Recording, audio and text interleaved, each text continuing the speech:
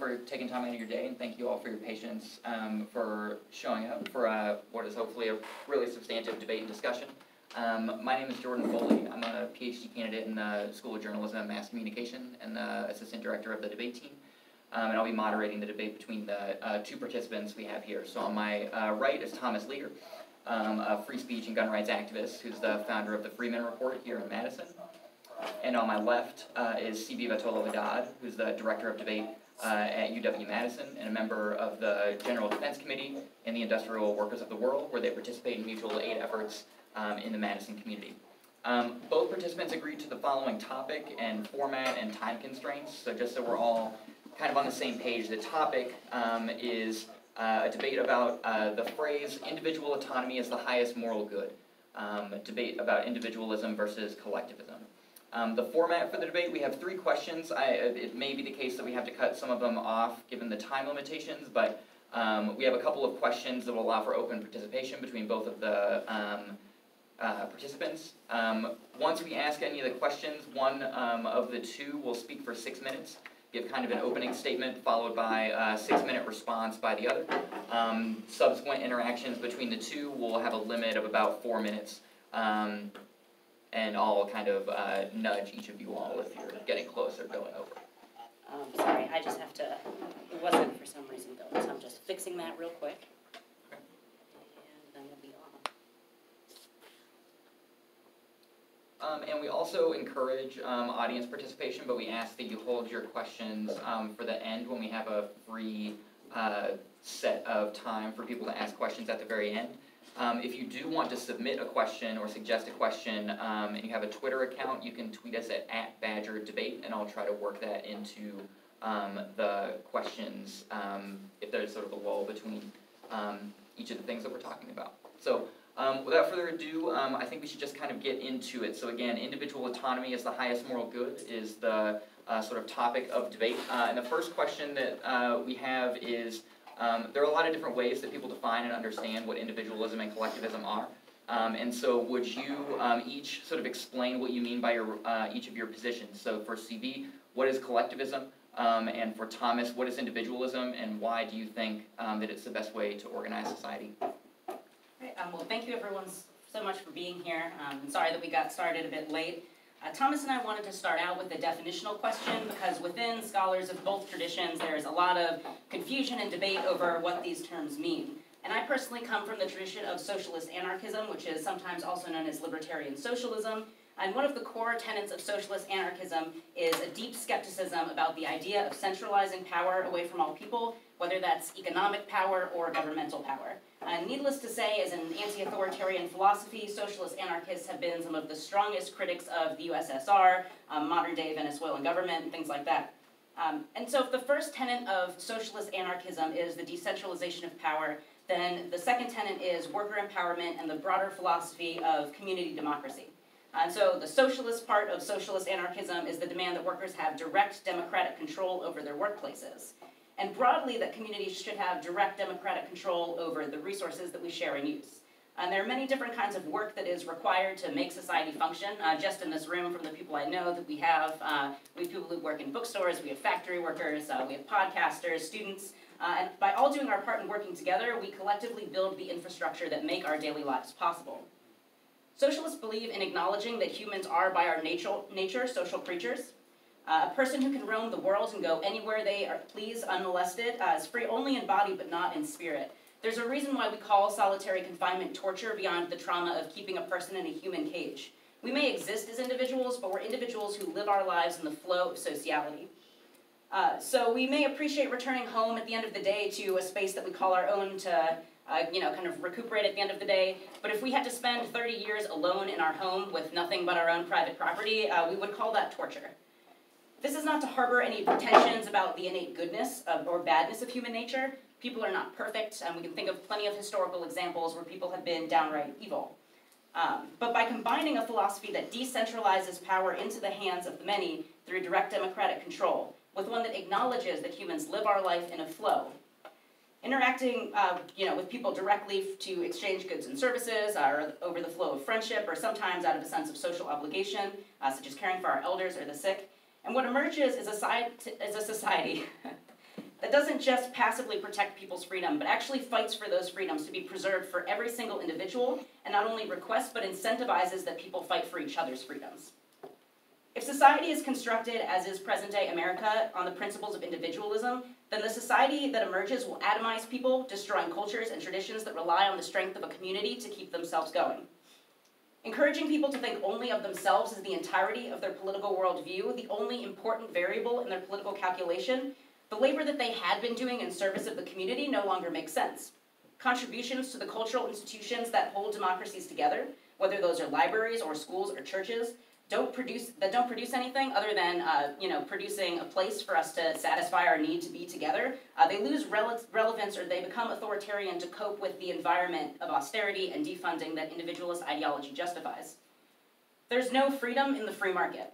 Yes, you have property rights that are protected, are protected in theory, I should say, because police regularly disregard people's property rights, and eminent domain laws mean that the government can decide uh, if it's necessary to annex your property and enforce that with the full policing power of the state. Uh, but that means that whoever owns the property also owns the right to decide what the rules are, which suspends people's rights at the gate. In the workplace, as current affairs editor Nathan Robinson has argued, it is essentially democracy is essentially suspended at the door. As soon as you go into work, you are in a dictatorship. When people own large shares of the property, and in particular, when they own large shares of the property that can generate profit either because of the natural resources or human resources that have been invested into it, uh, they can spend people's lives in a way that seriously undermine their freedom uh, for at least 40 hours a week, but for more people, more like 60 or 80. That's a third to our half of our lives that we live on somebody else's terms. Being forced to live without a say in the conditions that we live in is the definition of tyranny. Libertarian capitalists also often misunderstand this and think that socialists are lazy and don't want to do work. What we actually believe is that people who do the work should have a say in how the workplace runs, and that people who do not have working conditions, uh, and that people shouldn't have working conditions where their lives are run by the whims of their bosses, because even a benevolent dictator is still a dictator.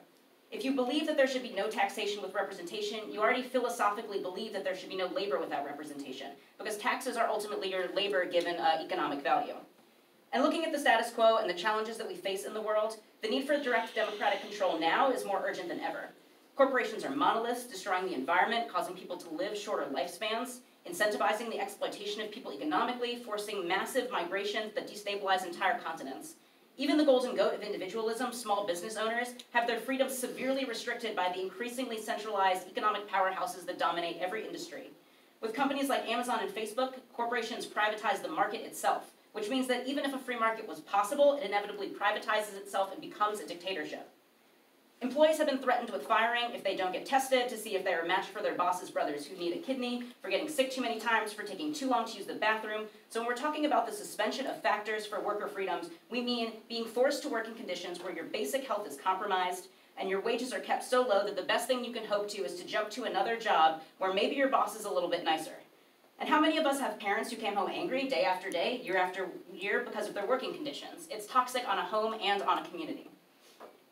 I need to remind us of the other incredible shortcomings uh, of the government is that it encourages us to, to think nationally, which has wreaked havoc on our foreign policy. The concentration of decision making and power leads to things like war, uh, particularly things like war in Iraq or Vietnam, which were against the public opinion, uh, but were carried out because they were in economic interests.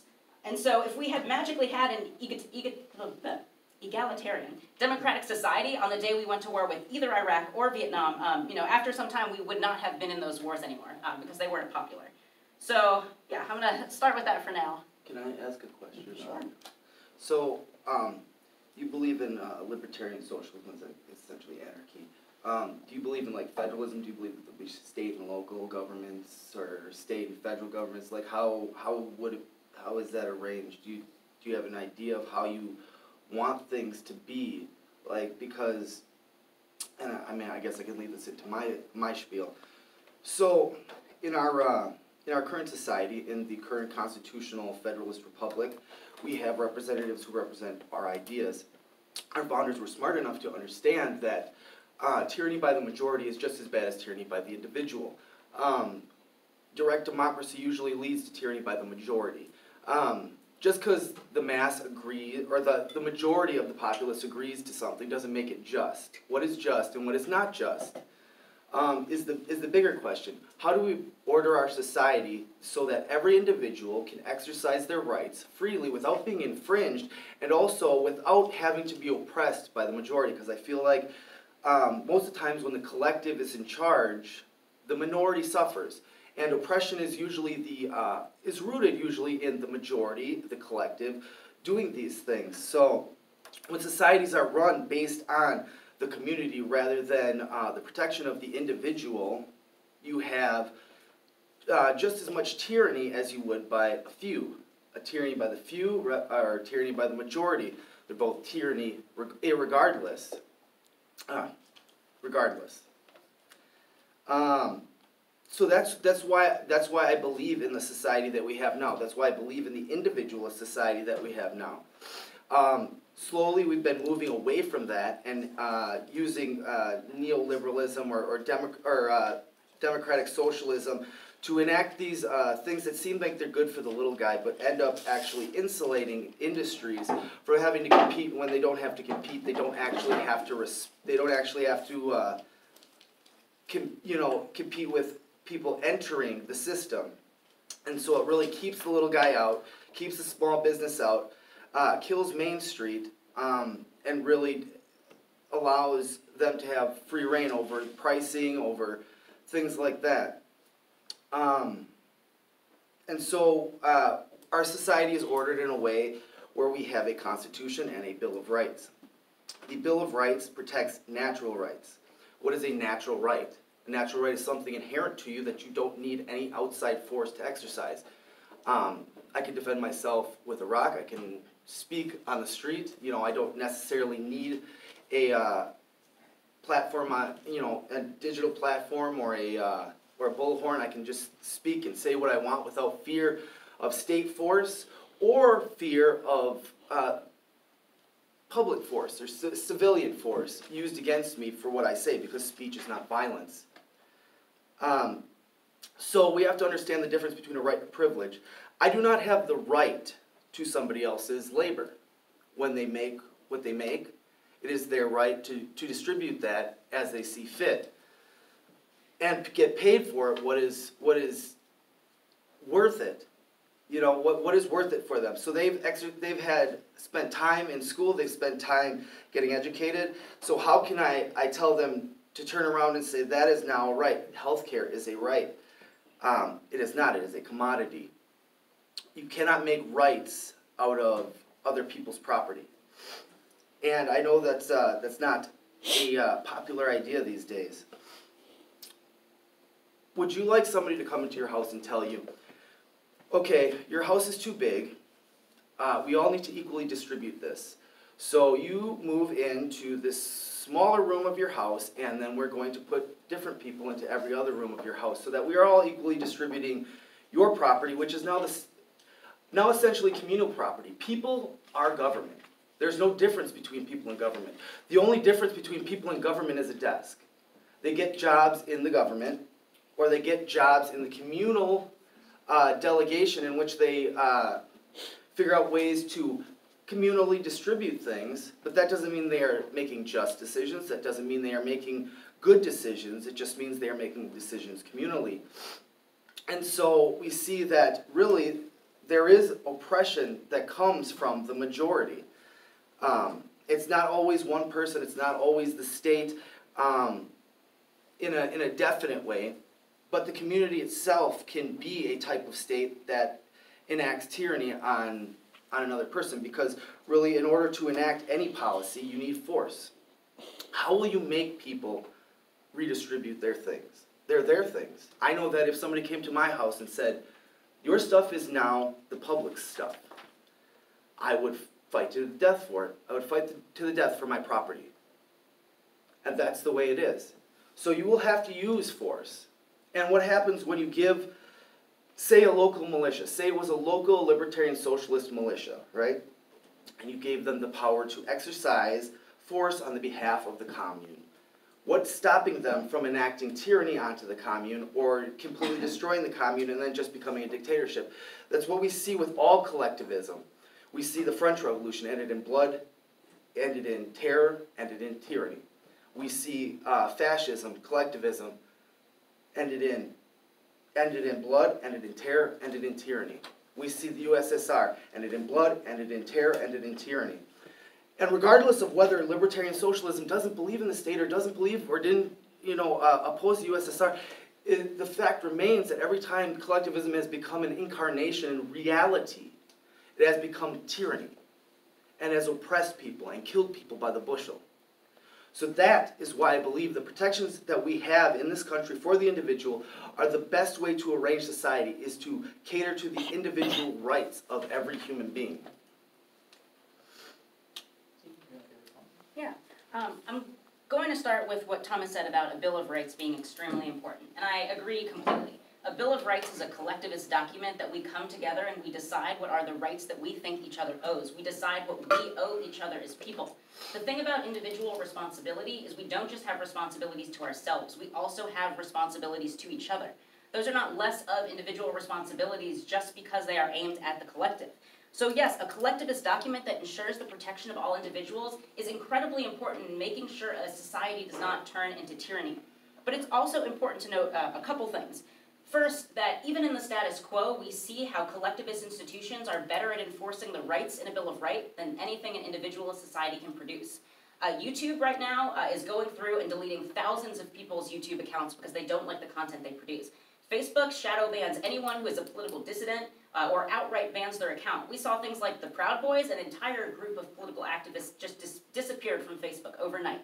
Uh, and whether or not I think those are a good thing, it could not happen in a public institution. If Facebook was publicly owned, First Amendment rights would kick in and they would not be able to do that to people because it is something that is dictated by the collective will of the Bill of Rights. But when you give individuals infinite power, when you tell them that what is on their property is their domain, you create the ability to create small feudal societies in which people do not have to respect the Bill of Rights because you can say, well, sorry, you know, Zuckerberg, I don't owe you, or Zuckerberg doesn't owe you the server space to keep your Facebook account active.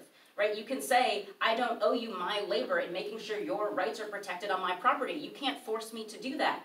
And that's a terrible way for society to function. Uh, now, Leager is worried about the tyranny of the majority.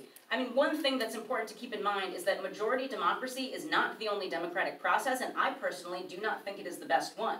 I believe in a socialist anarchist society that works on a consensus based model, which means that people have to come together and make decisions uh, in a way that people, you know, that incentivizes people in particular ways, right, to ultimately meet the end goals of society. Uh, you know, you mentioned healthcare. I think that's a really good example. I'm not sure. So Spain actually has a constitution, and in their constitution's Bill of Rights is the is government mandated health care. It says that the government is required to provide people with both preventative health care um, and caring for them after they get sick. And at no point in Spanish history has the government rounded up a bunch of doctors, right, with guns and forced them to perform surgery. That's not how a right to health care works. A right to health care works by creating an ideal that society hopes to live up to. Right? In some ways, it is always idealist, and there are always difficult trade offs that a society has to make. But the point of collectivism is to decentralize the democratic decision making power so that we make those decisions together, so that one person isn't making a decision for everyone. And that's kind of the best way to insulate people from the tyranny of the majority, right? Is through this consensus making process that encourages people to work together. Now, you said that uh, the tyranny of the majority keeps out the little guy we should talk about the status quo a little bit more. You want to talk about keeping out the little guy, you should look at Apple and Amazon. Most book publishers right now are forced to rely on the Amazon marketplace to sell their books. And if Jeff and if um yeah, Jeff Bezos decides he doesn't like your content, then he can just not sell your book. And most bookstores, most brick and mortar bookstores rely on Amazon to move their products. Amazon literally owns the market in book sales. The same thing is true of Apple. If you're a web developer, you're an app developer, if you can't get on the Apple marketplace, you are toast. The tyranny of the minority is what happens when one person or a small board of trustees or something like that is able to dictate the terms under which people live, right? Dictate the terms under which they can sell goods and services. And so, as concerning as the tyranny of the majority may be, right, and it's true that in any democracy you have to safeguard it, you have to be willing to stand up to tyranny. But even in those societies, it is much harder to convince a bunch of people to give up their rights uh, than it is to have one person decide that it is in their personal interest to take something away from you and to give it to themselves. I, I agree with some of, uh, I agree with some of uh, CV's premises, but what we have in our society are built-in uh, avenues of, uh, they're almost like reset buttons or uh, something, you could call it something like that, for which uh, minor, the minority, the individual has ways of dissidence. That's free speech, that's the Bill of Rights. And they can stand up to the government or the state force. They have representatives. The Bill of Rights was voted on by a handful of representatives. I wouldn't say that it's necessarily collective. That uh, people voted in their representatives. The representatives passed the uh, 1780 something Constitution, I believe. Forget exactly the date. Um, but we have these built-in uh, ways of dissidence, and even within our our own uh, our own history, we have uh, the founders saying that it is our right to reinstitute government when it no longer serves the will of the people. And that doesn't mean just the majority or just or just the minority, it means both. And Amazon is a great example of socialist, uh, statist socialist style subsidies making the marketplace impervious to the little guy. You have these subsidies going to Facebook, going to Amazon, going to Google, that are allowing them to corner the marketplace. They're allowed to buy favors and therefore rig the game. That is not an individual society. That is a statist socialist style society. I mean, and we could talk about what libertarian socialism would be, but it still remains standing that every incarnation of socialism, regardless of whether libertarian socialists believe it's socialism or not, has resulted in tyranny. And yet, we see the, the United States, for all its flaws, has resulted in massive liberty, massive gains in uh, economic opportunities. Whether whether the, the poor are poor doesn't matter as long as they're living higher than the standard their their uh, their fathers and mothers lived at. You have you have uh, inequalities in in in, uh, in monetary status and in several different things, but there's no way to get rid of that. And if you do, it's usually through statist force. We have built in ways of dissidence in our society. Not only that, but uh, our healthcare has led to the most innovation. Our, our type of healthcare has led to the most lives saved. And we have, we have given uh, so many people who had diseases that had no hope, hope for a cure. And now I, I, I say that the more we open up the, uh, the healthcare market to free, uh, the free, the more we open up the healthcare market and make it more free market and, and less socialized, less, uh, less closed in, prices need to be more transparent. Um, there needs to be more competition. The prices will decrease, the care will increase, and we will take care through private charity all those who cannot do for themselves. And if you don't believe that we will take care of it through private charity, then you don't believe in the goodness of people. This is how individualist society works. We, it has worked better than any other society that we have instituted throughout our history as humankind. So, uh, every time socialism, every time the collective has implemented a society, it has led to tyranny. The only revolution I could think of that was based around balancing the minority interest and the majority interest and, the, the and valuing the uh, rights and freedoms of the individual is this society. And we can get back to that original idea if we can just get past this idea of the government taking care of our problems. Whether it be a communal government or whether it be a, a government of representatives. Um, one quick question, what subsidies do, does Amazon get from the government? I don't have I don't have that with me. Okay. I couldn't grab my book.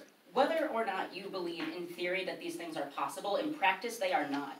Whether or not you think that Amazon is somehow the product of socialism, the reality is that Jeff Bezos is in control of a massive amount of wealth that Amazon is creating company towns where their warehouses are located, where they literally not just control uh, where they are, but they control all of the houses. They have private security forces where Bezos gets to uh, literally, what's the word I'm looking for, enforce his will on people through a private security force that is not uh, regulated or responsible to the community in the way that a publicly funded police force is. And for all of the things that I may think about policing, I can still acknowledge that a private police force that is not accountable to anyone, something like Blackwater, is still worse than something like uh, an imperialist force. And so the first thing is that even if you believe that some kind of mystery subsidy that Thomas can't name for me is how we got here. The reality is that the most violent parts of Amazon, right, the way that they are most able to enforce their will on others is because one person sits at the top of all that wealth and dictates what happens to it. And frankly, I am not particularly sympathetic to the idea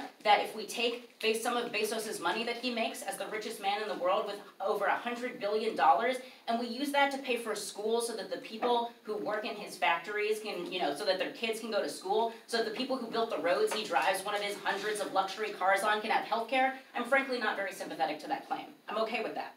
But the other thing is that, you know, Thomas says we have these ways to stand outside, right? We can be dissidents. We have free speech. But the reality is that some people have a lot more speech than others. If you're someone like Rupert Murdoch and you can afford to buy up a bunch of cable channels and other media markets, then you can afford to have a lot more speech than other people. And so it's not just about what you're theoretically entitled to, it's that wealth buys you access to your freedoms. It buys you the right to be healthy right now. It buys you the right to know, you know, to be able to get around. Uh, and, and that is all, you know, something that an individualist society is not really prepared to deal with. Thomas also says that our healthiest, so mm, there's a couple things here. Let me see. Thomas says that all collectivist societies have gone to hell. That's not true. Uh, it's not true in a lot of ways. Some of them have certainly been eradicated by genocide, but most collectivist societies that exist today, whether that's in Spain, whether that's Palestine, whether that's Rojava, are shining examples of what it means to live free in the face of tyranny. Collectivist societies that exist today are the ones that are literally standing up to fascist governments, that are able to survive in the face of military occupation. Collectivism is far, far stronger than anything that individualism could produce. And if a Palestinian used uh, what a, Thomas believes in a Lockean version of property rights, which means that the labor you put into uh, unclaimed land is what makes it your own, the original property right comes from putting work into raw natural resources. Uh, if someone in Palestine or Rojava said, well, I planted a bunch of seeds here and so now nobody else can access this part of the West Bank, right, that wouldn't really be uh, a better form of occupation than what we have now with the Israeli military. And so the idea that collectivist societies inevitably turn into tyranny uh, ignores, ignores what is actually happening with them. I'll be good with that for now. Um, just to address the point of the subsidies, they've gotten, uh, Amazon has gotten twenty economic development uh, subsidy packages since twenty twelve, uh, totaling two point four billion dollars. Uh, one of them is the HQ two, HQ two auction or something like that. But, uh, I mean, it's, that's from goodjobsfirst.org, um, if you wanna check that. But it's twenty, uh, twenty economic development subsidies, that's just Amazon. So, uh,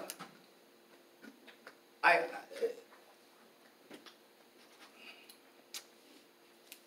I think that our our way of, our way of life in America has allowed for the way of thinking that we have in, uh, in this generation where things should be equally distributed no matter what.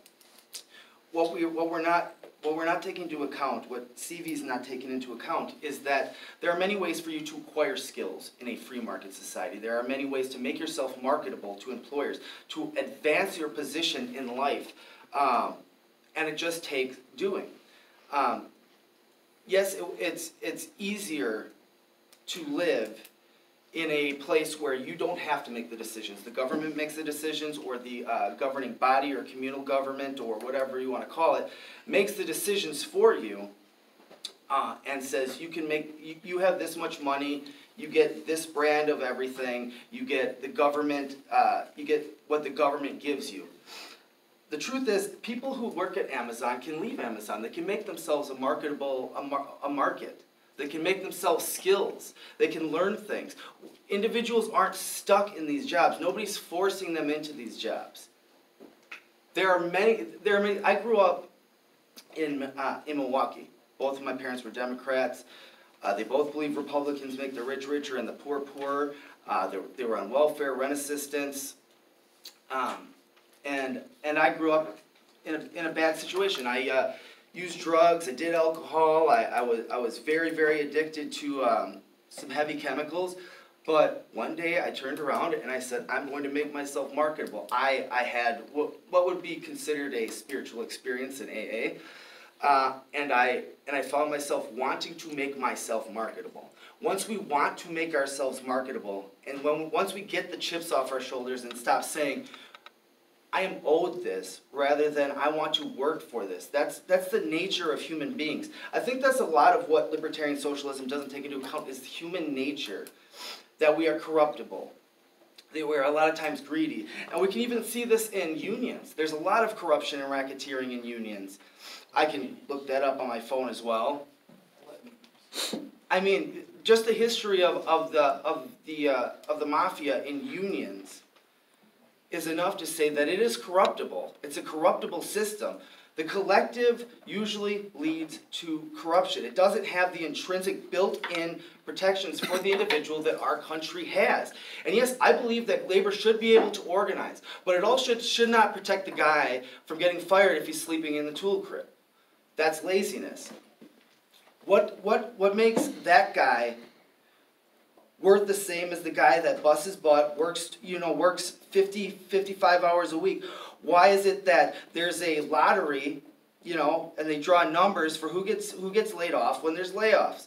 The guy who's working really hard should get to stay, and the guy who's sleeping in a tool crib shouldn't. This is what these are the protections that collectivist society leaves for those who do not. It, it takes away the incentive to succeed. Why work really hard if the guy that's sleeping in the tool crib is gonna gonna you know have the same advantage as you when layoffs come around? There's no advantage to it at all. Libertarian socialism does not take into account human uh, human nature, human frailty. So, there, yes, Amazon, I believe you, has gotten economic subsidies. But I'm curious how those subs- subsidies translate into what we have now, which is not a tyranny of the majority, which is not a socialist chaos, right? Which is one person exerting tyrannical control as a dictator over the people who work for him and the people who live around the areas in which he has set up his company property. And so, even if it is, of course, true that yes, public subsidies were given to Amazon, that doesn't translate into a mechanism for the kind of control we see now. And in fact, we don't see that in other places where public sector funding is used. So, for example, Thomas Leager previously mentioned uh, our healthcare sy- system is excellent. We save the most lives. I mean, it's not true. We pay more per capita than any other developed nation, and we get less for that money. Last year, people spent $10,000 a year per person on healthcare. Every other country spent half of that and still gets better healthcare than us. But one thing in particular that bothers me about that statement is the idea that we give people hope for a cure because we develop all of these drugs that are so amazing.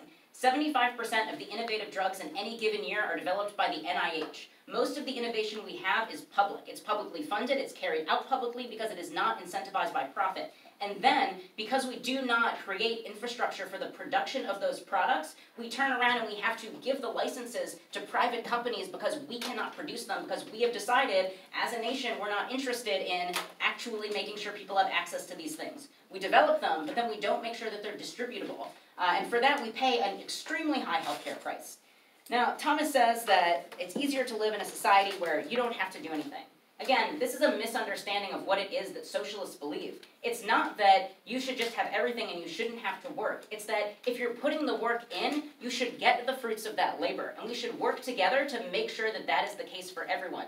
Jeff Bezos makes the average Amazon worker's salary in nine seconds. I want to tell you, I, I, want you to tell me what kind of work he does in nine seconds that equals what the average Amazon worker does in a year. Right? What is he, how does nine seconds of Jeff Bezos taking a piss equal a year of a factory worker, right? Who has to pee in a bottle on the factory floor because they can't even take bathroom breaks because the way that he runs his company is to exploit people into the ground and then rely on exactly what it is you said. You don't like it? Go somewhere else. Epic does this too in Verona. They take in a constant stream of recent graduates and they work them into the ground and then they say, go somewhere else, we'll get plenty more people. But the reality is that that bosses collude to lower labor's prices, right? Adam Smith said this. You may have heard of Adam Smith, Thomas, right? Like kind of a staple person in American history, kind of found, you know, founded many of the principles that this government runs on and said it's a major problem that within any given industry, the people who run it collude with each other. We see this in Silicon Valley, and we see this with housekeeping services, right? We see this across the board in every kind of labor. That if you, that the managers, right, the owners of companies are colluding with each other to keep down their workers' prices. And so in the status quo, you do not have people getting what they are putting work into. And we think, uh, as socialists, that workers should have a say in how a company is run to make sure that that's not what happens. Uh, now, the other thing, I mean, this is a touchy subject, and I'm very happy to hear about your recovery. What devastates me is to hear you say, one day I turned around and said, I'm going to make myself marketable. Your recovery, anyone's, we have so many people in Madison, right? We have an opioid epidemic. We have all of these people suffering from addiction and abuse problems. And it shouldn't take them having to make themselves marketable to someone else in order to get help and to get recovery, right? People should be entitled to recovery when they're down. We have all had those bad days. We have all needed to rely on each other. But if you don't have anyone to rely on, what you shouldn't have is an invitation to go fuck yourself, right? What you should have is the ability to go to a mental health professional, to go to addiction recovery treatment, right? You should have those things in a society that is, as you say, the wealthiest in the world, right? And begs the question of what happens with all that wealth when so many people live in poverty in this nation. Uh, the last thing you said, I'll make this quick, is that socialists don't understand human nature and we take away incentives. Yes, humans are motivated by incentives, but it's a question about what you incentivize them with and what you incentivize them to. Incentivizing people to accumulate a massive amount of power and then wield it over others is not what incentivizes a good society. All right, so uh, what you described with Amazon is a result, the, the subsidies result in them having an edge over the small guys. Small businesses can't enter the market, can't grow to the size that will be competitive to Amazon. Amazon therefore has a, uh, a way of keeping down the little guy and not uh, allowing people to enter the marketplace. So these people who are working in his in Bezos's shitty jobs can go to somewhere else and say, you know what, the, the market is flooded. I can go anywhere I want. You need to make it a uh, labor market in which people can go anywhere they want. They can take their skills and tell him to go shove it. That's what I'm for. I'm for being able to tell the big guy to go shove it. Or to just be able to live my life without the collective exerting their will over me. The medical field would be more productive if we didn't have all the insulation that we do in this country, and I would be able to list it off if I had time to grab my notebook. But Daniel, Oh, I, had yeah, grab, I had to get you. Uh, so, there we go. I mean, Fake making yourself continues. marketable, I feel like I'm sorry. I'm sorry, Dan. I didn't mean to put that off on you. That's that's kind of shitty.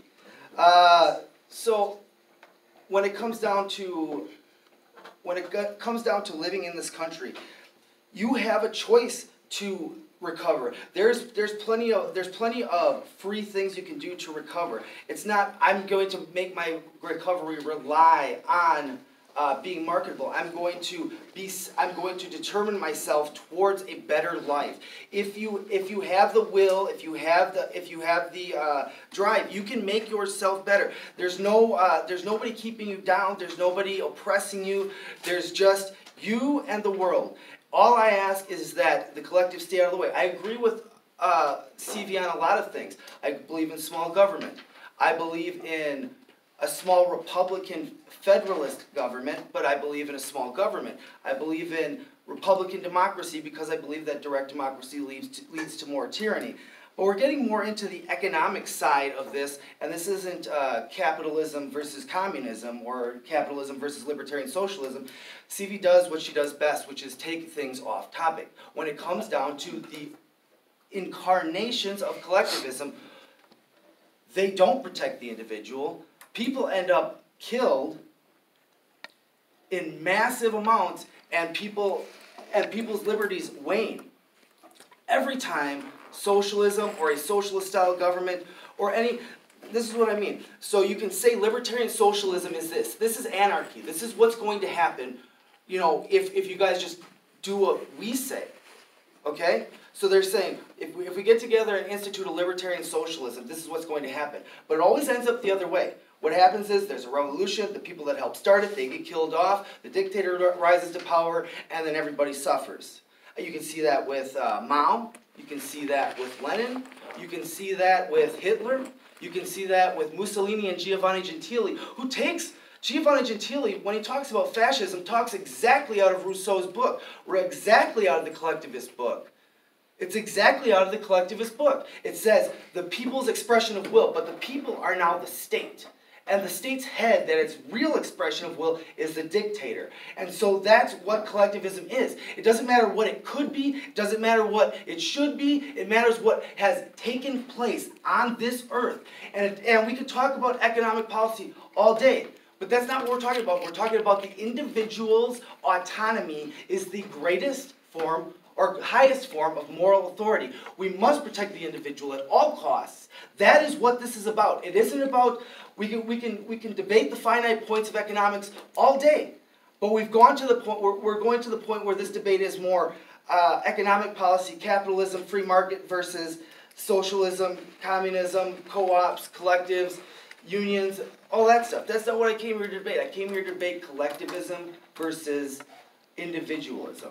And the facts are that in, that collectivism has led to the most deaths in human history.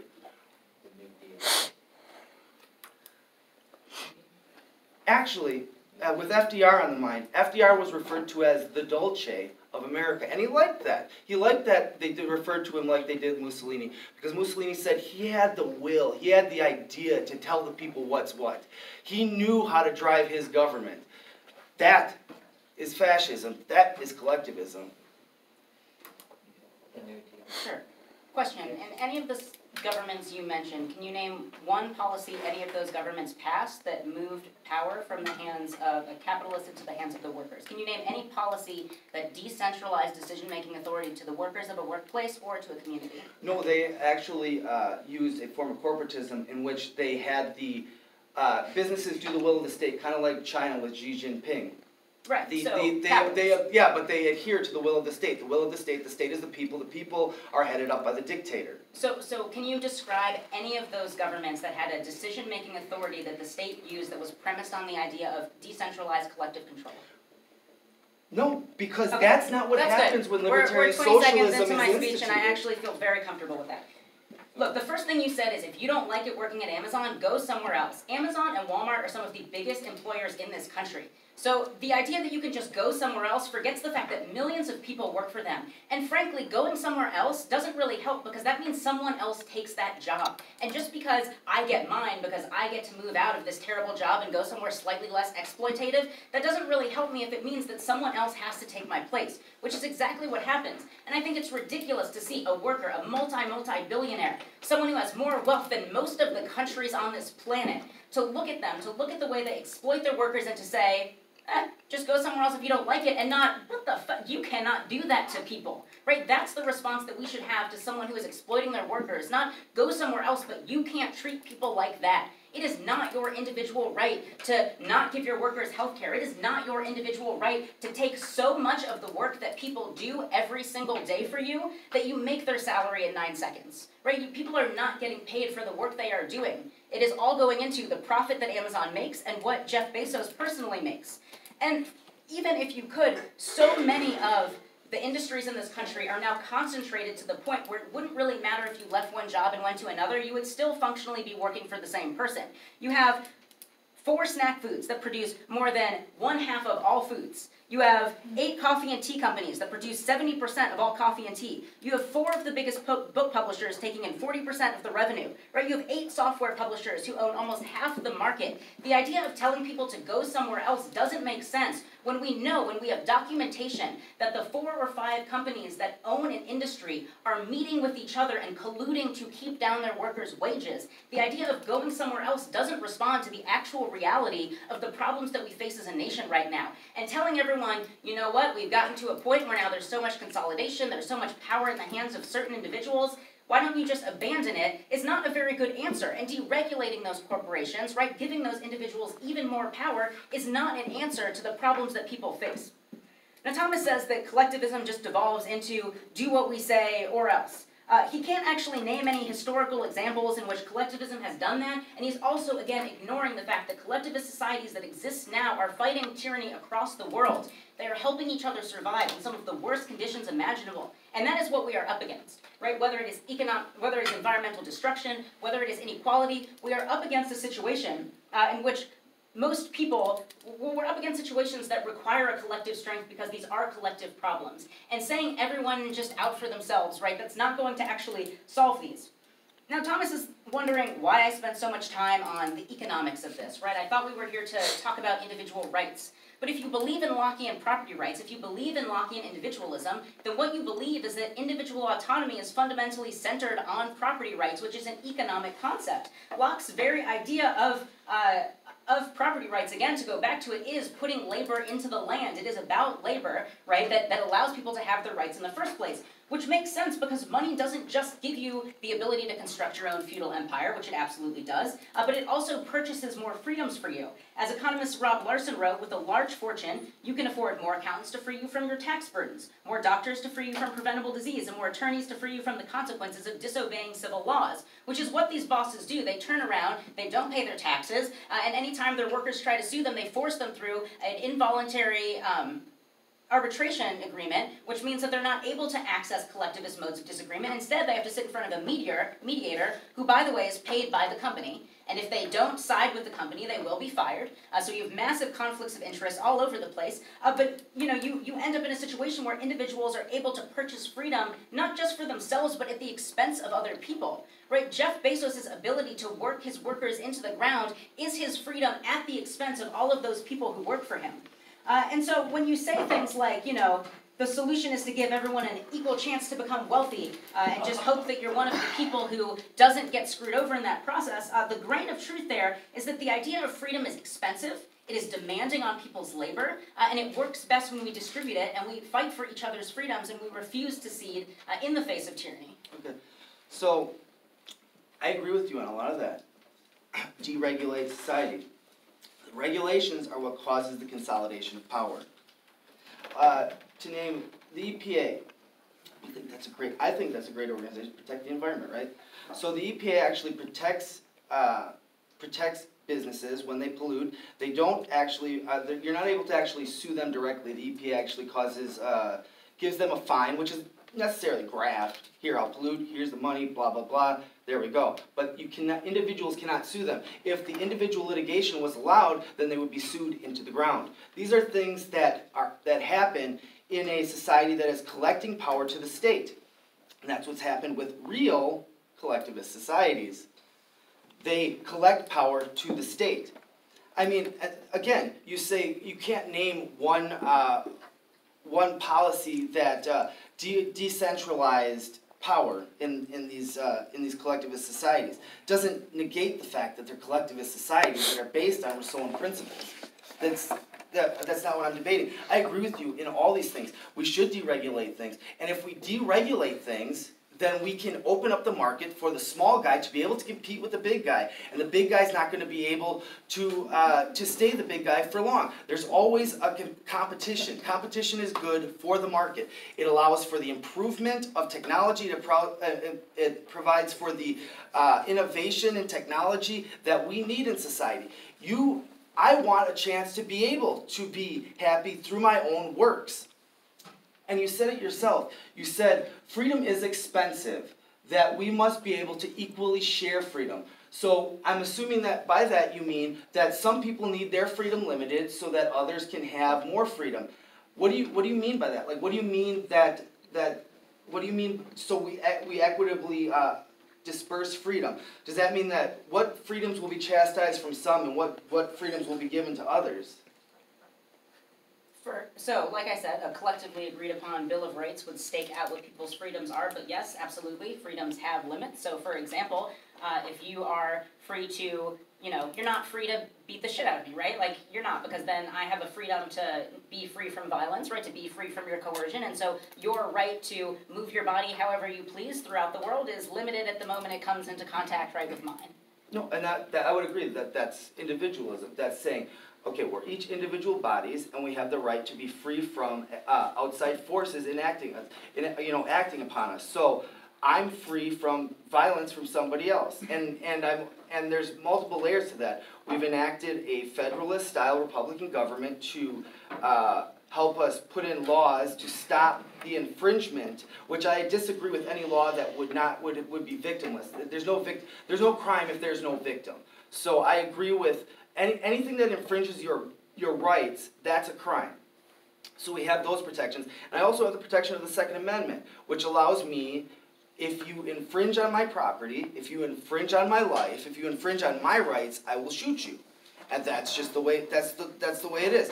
These, these are, these are protections for the individual and, and, and has allowed historically, through history, the, the most amount of freedom that the, the regular people, the, the, the plebeians have ever had in the history of the world. We have the most freedom, we have the most wealth, we have the most excess of wealth, we have, we, we have uh, you know, a weight problem in this country that is completely outrageous, and that's not just amongst rich people, that's amongst everybody. We live in a fat country. We live in a excessive country. We live in a country that's excessive because of the success of individualism and the Republican democracy.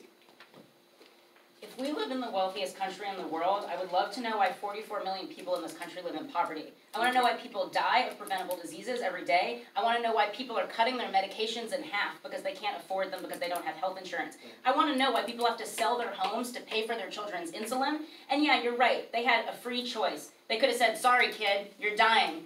It is what it is. We're not selling the house. This is my property and my freedom. Right? That could be the response we give people. But I don't think it's a very free one.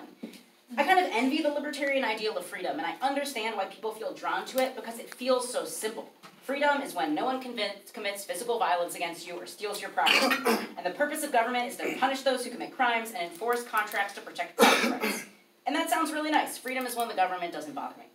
The problem with this definition is that you can lose all of your freedoms without ever violating those rules. The majority of American adults have less than $1,000 in saving, and many of those are families. If you're poor in Wisconsin as the winter approaches and you are laid off when your job becomes outsourced, you may find yourself with no other options than to sign a 10 year contract of indentured servitude under the threat of starvation. Uh, and, and starvation, homelessness, freezing to death, many things here in Wisconsin that we didn't have to deal with in Florida. Uh, and if you're those homeless people in Madison, right, most of those people work full, full, full-time or part-time jobs, but the cost of housing here is so expensive uh, that they can't afford houses, and so they struggle to find better employment because they don't have an address, uh, which means that they, you know, can't do things like apply for a job that requires you to have one, right? Can't often enroll their children in school, and so now they have to also teach their children full time or watch their children full time. Uh, and technically, yes, uh, signing up for indentured servitude again, voluntary choice. Uh, and if you say the government has no right to interfere with that, that under the threat of starvation it is legitimate for you to sign a 10 year contract of indentured servitude, uh, then that is not what freedom looks like, right? I do not think that is a meaningfully free choice. That is coercion by any other name. That is tyranny by any other name. Uh, and, and so I think that. Oh, there's just so much there, Thomas. Um, what do you mean by, what, what, I- could I ask, I'm sorry, could, could I ask a question? What, uh, what do they mean by poverty? Like, is there, is there a number, is there, is there a, uh, yearly income, what, what do you, what do you mean by poverty? Yes, there's a federal poverty guideline. Uh, I think for poverty, it's somewhere around twelve thousand. I want to say. Well, it actually might be fifteen thousand now. It's been a couple years. And then for extreme poverty, it's like is it still twelve thousand? Twelve thousand dollars a year. Look, when you say things like competition is good, competition makes us freer, competition helps us innovate, the reality is that is not what we are looking at. We are not looking at a situation where we have flourishing competition. You go to the store and you look at all of the available beers in Wisconsin. You seem like you have a lot of choices. It looks like there's rich competition. Almost all of those are owned by three companies. You think you have competition, but you don't. And if you're a new company, right, if you're a new beer brewer and you want to get your product out there, you don't just have to compete with those three companies. You have to compete with the manufactured competition that each of those companies creates in order to make it look like there's a flourishing market. So now you're competing with one of a hundred other breweries, even though there's actually only three of them. And so the idea that we can effectively innovate in a situation like this uh, is totally divorced from reality. And it's not enough to just be free from government. Freedom means that you need to also have the capacity to act, and you need to be able to have a say and power when it governs your daily life. Uh, you need to be able to use your freedom in a meaningful way. And you can see why this is so important if you look at something like the sharecropping system. Slavery was a horrific restriction on people's liberty, and it was enforced by the government. Uh, and you know, it was a they, they were physically deprived of their freedom. The threat of physical violence was constantly present for anyone who tried to leave. Uh, but after slavery ended, many African Americans entered into the same system through sharecropping, where they signed these long contracts, had to work on their on their master's land. Oftentimes, it was the same masters who enslaved them. They went back to work on those same places because the threat of starvation or death was so high that it meant that they were functionally doing the same thing, but at this point, it does not violate any of the tenets of libertarian freedom. Right? Sharecropping is not a violation of libertarian freedom, even though it is fundamentally no different from slavery itself. The only difference is that in one, it is governed by the government, and in the other, it is governed by a boss. Uh, but in both of those situations, the people living in it have no meaningful freedom to speak of. Uh, I don't get it. there's a lot there. Um, and I would say that there, there has, there has been time, you're, you're saying that there's the three breweries example. Because the bigger, the bigger guy buys up the smaller breweries and consolidates power. And they're able to continue to, to keep their profits at a higher and higher rate without having to pay more, without having to compete more for, for labor because of regulation. Regulation has caused the consolidation of power. Indent- indentured servitude is horrible. I wouldn't agree with it. I dis I disagree with that. But who? You talked about this, you talked about slavery as well. Who instituted slavery? Who ag- who agreed to slavery? The majority said that it was okay. So that no, they the, the majority did. The minority is what fought against slavery. The minority is what the minority of Southerners ag- agreed to it by not doing anything. They agreed to it by not stopping it. And only through a minority movement of abolitionists was it ever changed. The, the minority usually has, uh, usually causes any type of real meaningful change. It starts as a minority and, and grows bigger and bigger. Only through protecting the individual and protecting their freedoms economically, individually, is any change ever achieved. I would even go as far as to say collectivism is the only is, is the, the bare root of oppression. Because only through the majority are people oppressed. Whether it's by uh, just agreeing by just not doing anything or just saying we can't do anything we're too small to do anything i'm not going to do anything because i'm scared to be singled out or i'm scared to be bullied or i'm scared to whatever through silence, the majority imposes oppression. That is how it starts. That is how it that how this that is how it's continued. And until the minority starts a movement that becomes the majority, uh, that's only when change is actually enacted. I understand the, the plight of the worker, but they, you can go to other jobs. You can make yourself marketable. There are many examples of this. Uh, I, think the first uh, black Congress member was in Florida. Was he a senator or was he a, uh, an alderman? I think it was a senator. First black senator was in Florida in the 1800s. You can do anything. If you put your mind to it, you can do anything, even against the greatest odds. So I, I hate to hear this like, poor me, like the odds are against me. It's not easy. No, it's not easy. Life isn't easy. Life is hard.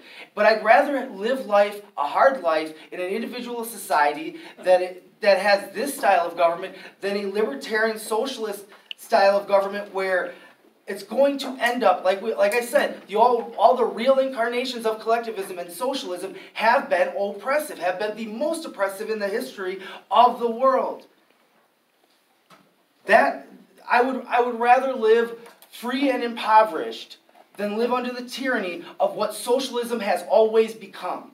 I'd rather be the, the dirt poorest person in the world under a free individualist society than under the tyranny which socialism has always exhibited. Can you name one? Dude, I am sorry, I'm sitting here for an hour and a half listening to this. Too much. shut up. See, you wanna move on? Yeah, and then should we move on to? Okay, cool. Um, I'll, I'll respond quickly and then give Thomas also a chance to kind of quickly respond and so we can move on uh, to the next question. Thomas says that all examples of collectivism descend into tyranny, but cannot reckon with the reality of places like Rojava and Palestine, cannot reckon with maroon cities that existed in the United States where people fought off tyranny together.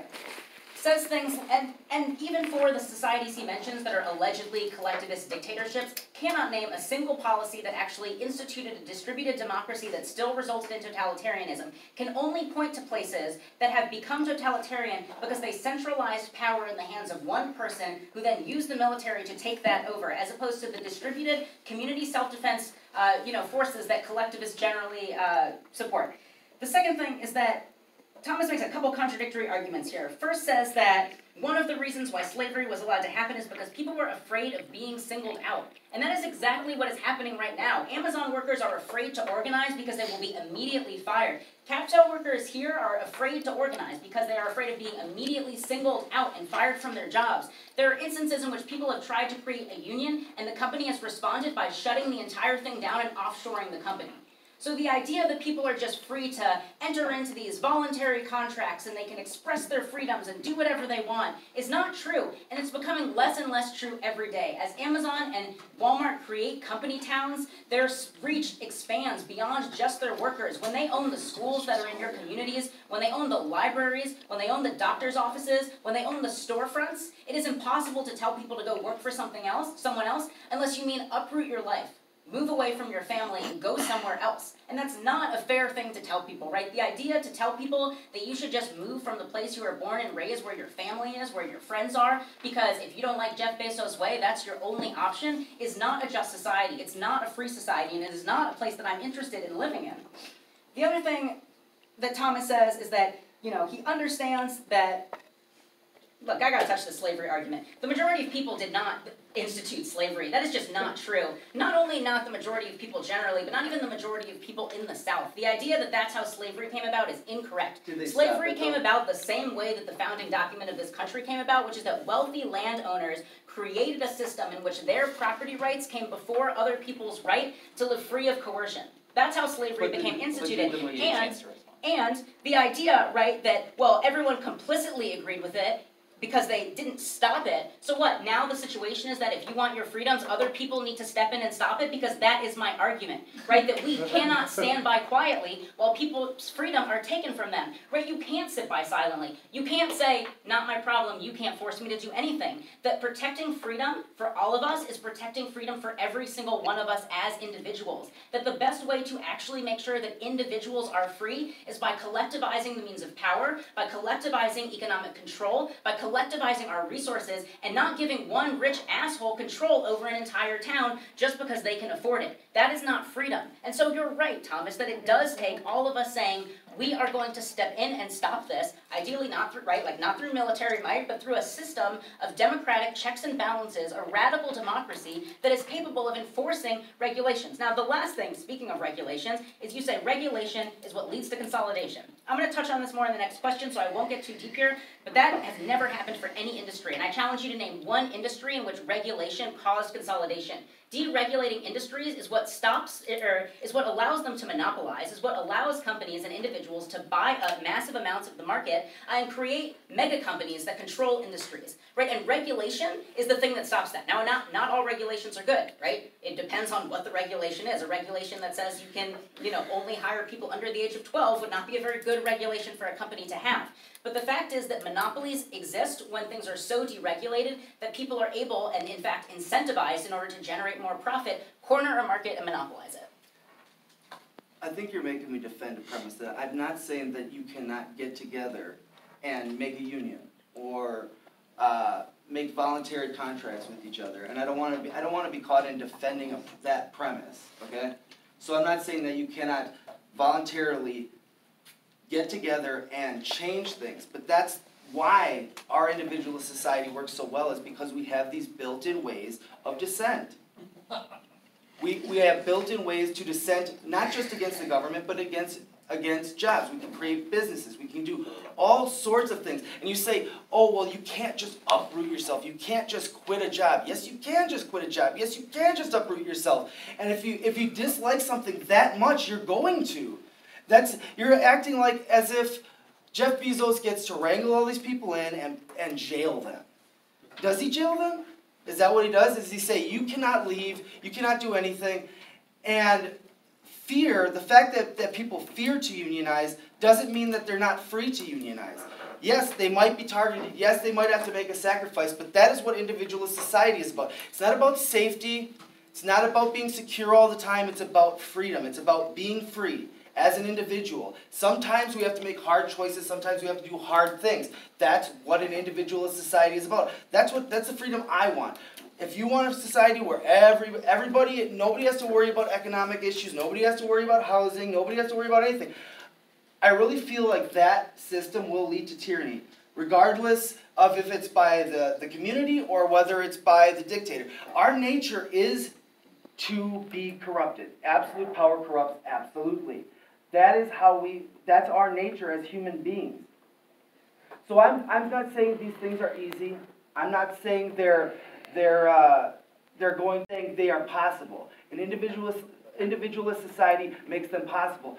I feel like all these collectivist societies that I named that you say are contradictions and all this other stuff are actually uh, actually institute laws that prohibit the dissent. The accessibility to uh, ways of dissent is the reason why our system works so well for uh, so many. And you can say it doesn't work well for so many. You can say there are people impoverished. But the thing is, their median income is still greater than their than their uh, their forebears. So we're still moving forward. You're just saying it's not far enough. Everybody should be equal. Everybody should have equal pay. Everybody everybody should have the the equal amount of living standard. You're saying the living standard should be the same. So we've had a lot of back and forth over, I think, a ton of different issues. I want to recenter them. We've talked about several of what we were going to ask in the next few questions, which deal with uh, tech companies like Facebook and Amazon, and also um, healthcare. I do want to refocus the conversation on, uh, you know, we talked about a lot of historical examples. I think a couple of things that both uh, are agreeing with is that there are people who are subject to the rule of a very small number of companies and that those create exigent circumstances for people to deal with. How do we do that? Um, and how do we deal with this um, fact that across not just industries but also platforms uh, like social media and broadcasting companies, um, that uh, these present kind of unique challenges for the free flow of information um, and government intervention. I'm curious if we can recenter the discussion on how the individualist or collectivist principles might approach the process of um, uh, media consolidation or consolidation of companies is the position that I hear from Thomas that uh, individuals should sort of be able to get together and sort of engage in collective forms of dissidence in some Yeah. way. What does that look like? How does that work? And for um, CV, given that there are these Jeff Bezoses that control these things, how would one institute some kind of workplace democracy? I don't know who wants to take that first. Do you but- want to go first? or- Okay. Um, so I would say that in individual society, you could get together, you can put pressure through your dollars. You cannot buy product. If you say so, if if Amazon is treating its workers poorly, we shouldn't buy from Amazon, even though it's the biggest, cheapest place on the block. And I think you would, I think Stevie would say that, uh, and this I might be wrong on this, that uh, some people can't buy other places because they can offer the cheapest price. Well, sometimes, again, individual society is about sacrifice for the greater good. We care about each other, and through charity, through, through self sacrifice, we help each other get up, uh, get a leg up in life. And that's what's great about the dissent ability in an individualist society. I don't agree with the collection of wealth by, uh, and the, the ability to lobby uh, for political influence. But we all have that right to lobby, and I think uh, I think more of us need to uh, to really realize that we can lobby our politicians. We can put pressure on business. We can uh, use litigation or, combine combine our money to uh, to force an outcome that is uh, better suited to a more egalitarian way of living. So we, like I said, you can have uh, boycotts of goods. You could have um, speech, just your freedom of speech to tell everybody that Bezos is doing this. We have this platform, which is debate, and I, in a lot of states that are collectivist, even like I said, even if libertarian socialism opposed the USSR or, or, or fascism or all these other things, they are based upon the ideas of the collectivists, and that is the form that they are taking today in uh, the uh, the knee-jerk reactions of of hate speech or or uh, equating speech to violence. Um, that kind of thing is something that is very, very uh, suited to the, the leftist collectivist ideology and ends up being instituted in a way that prevents dissidents in, in any situation in their societies. So I believe that we can, in an individualist society, get together, and use those avenues of dissidence that are uh, built into our society uh, to, uh, to affect change in the way we'd like. And I guess to, to narrow, I think, the scope of some of this conversation, what happens when those companies control that flow of information, control the ability to engage in those things? Things like uh, regulations that happen on places like YouTube or Facebook or the other social media companies that control the flow of information itself. Gab, Minds um, several different, several different companies form. Other companies, you can create your own company, you can, um, create your own platform, create, create your own website.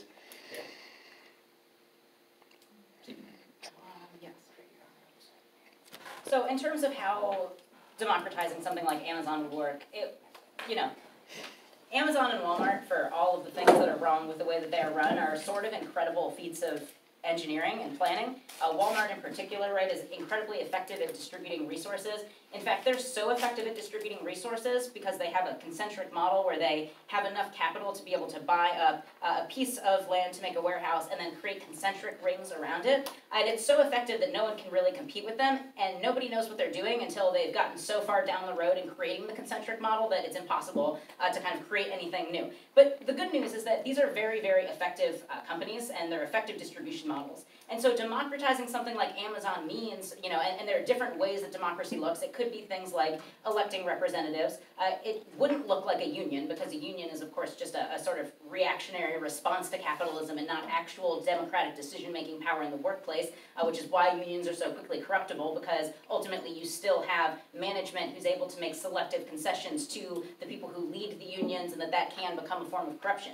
And so it means things like having direct control over major company decisions, uh, managers being electable and recallable is often part of it, right? And, and, different industries will need to experiment with different ways that this should work. There's not one way to do it. Uh, and so the point of socialist anarchism isn't to say you must run your company this way. It's to say companies should be democratically organized uh, and that they cannot exploit people in these ways, right? That there should be a Bill of Rights around labor, not just around individuals. That it should include uh, all of the different ways in which we live our lives. Now, I mean, I gotta say, I find myself very much agreeing with Thomas, right? The idea that society only can function when we make individual sacrifices for the greater good is probably the motto of collectivism right? If you want a democratic society, you need an institution that builds and manages the ballot boxes. That's something you do not want a company doing. You do not want a corporation to manage your election, right? That, there's pretty obvious reasons why there would be a conflict of interest. And so when Thomas says something like, you know, well, I don't agree that you should be able to buy corporate influence or you should be able to buy political influence, uh, but the reality is we can all choose to buy political influence. Well, some people can choose to buy a lot more political influence than others. And you look at private corporations, right? Things like uh, Facebook is a very, very good example uh, of how you know things like public relations campaigns, things like media consolidation, produce an environment in which it is impossible to be a well-informed consumer, and which it is impossible to be well-informed generally, in which any kind of dissident political thought is systematically censored without any government intervention whatsoever. Things like Facebook selling data to Cambridge Analytica, which is a British consulting firm that used the personal data to influence voters in the 2016 elections. Things like Facebook going through and manipulating their users. They ran experiments on 700,000 people and they didn't tell a single one of them. They manipulated people's emotions without their consent. Well, I'm sorry, you signed an end user license agreement that I'm sure you didn't read because nobody reads 70 pages worth of legal documentation to use Facebook. But, uh, but they ran experiments where they manipulated people's timelines. Because they ultimately have total control over the algorithm, just like YouTube. They can show you whatever it is they want you to see, and you don't even know it's happening to you. So they gave some people really depressing stories and made a bunch of people very sad and anxious. And then they showed other people really happy things, like puppies, because they wanted to see what would cause people to become more addicted to their platform, because they wanted to use it to hook you. People often say things like, we're not the users of Facebook, we're the product. I think it's much more nefarious than that. Shoshana Zuboff has a book called Surveillance Capitalism, where she talks about how it's not that we're Facebook's products. We are the endless supply of raw behavioral data that Facebook extracts out of us, oftentimes without our knowledge, oftentimes through manipulation, that it analyzes and repackages and gives to other companies so that they can coordinate across applications so that when your running application notices that you've gone on a run, they know that you're high off the endorphins, and then they tell other companies like Amazon to sell you running shoes at that moment right? The way that we are being manipulated is far beyond what any individual could be expected to grapple with. And so that's why Thomas is right. Sometimes we have to make individual sacrifices for the greater good. Sometimes Bezos cannot have the 200th Tesla that he owns, right? Sometimes that money has to go to people who don't have teeth right? To people who need healthcare, people who need a place to live. Because you want to talk about utilitarianism, there is diminishing returns for the people uh, who make the, right? There are diminishing returns for people of extreme amounts of wealth compared to what people who can take, you take $1,000 from Jeff Bezos versus taking $1,000 from anyone in this room, those are two very different propositions. So you want to think about the utility of money, then distributing something uh, and through, and, and not distributing money necessarily, but distributing power in a way that makes it possible to redistribute resources uh, is the only way that we can get out of the current situation that we're in. I agree with CV on like ninety percent of that. How would you, uh, how would you redistribute resources in a uh, libertarian socialist society? Like, what if there were people that didn't want their stuff redistributed? I mean, in my opinion, this is something that has to be established from the jump, right? The problem with America, the reason why we are experiencing the highest levels of economic inequality in history, right? The reason why power is so evenly distributed and there are so many consolidated industries is because we started out with a myth. We started out with the lie that all men were created equal when reality it was only white landowning men, right? And that the policies in our country for hundreds of years were dictated by a very small demographic of people, and it's very hard to undo that. And so, what does it look like? Well, it looks like taking what we have now, providing some form of transitional care while we work out what exactly we need to do with the way that things are. It looks like most private property probably becoming public, which is how things used to be before people stole property from other people. Right? When we got here, this was not unoccupied land. This was Ho-Chunk land, right? This was many people's land, and they were using it collectively before we privatized it and stole it from people. Right? Public parks are a very good example of how people are actually quite good at taking care of land together.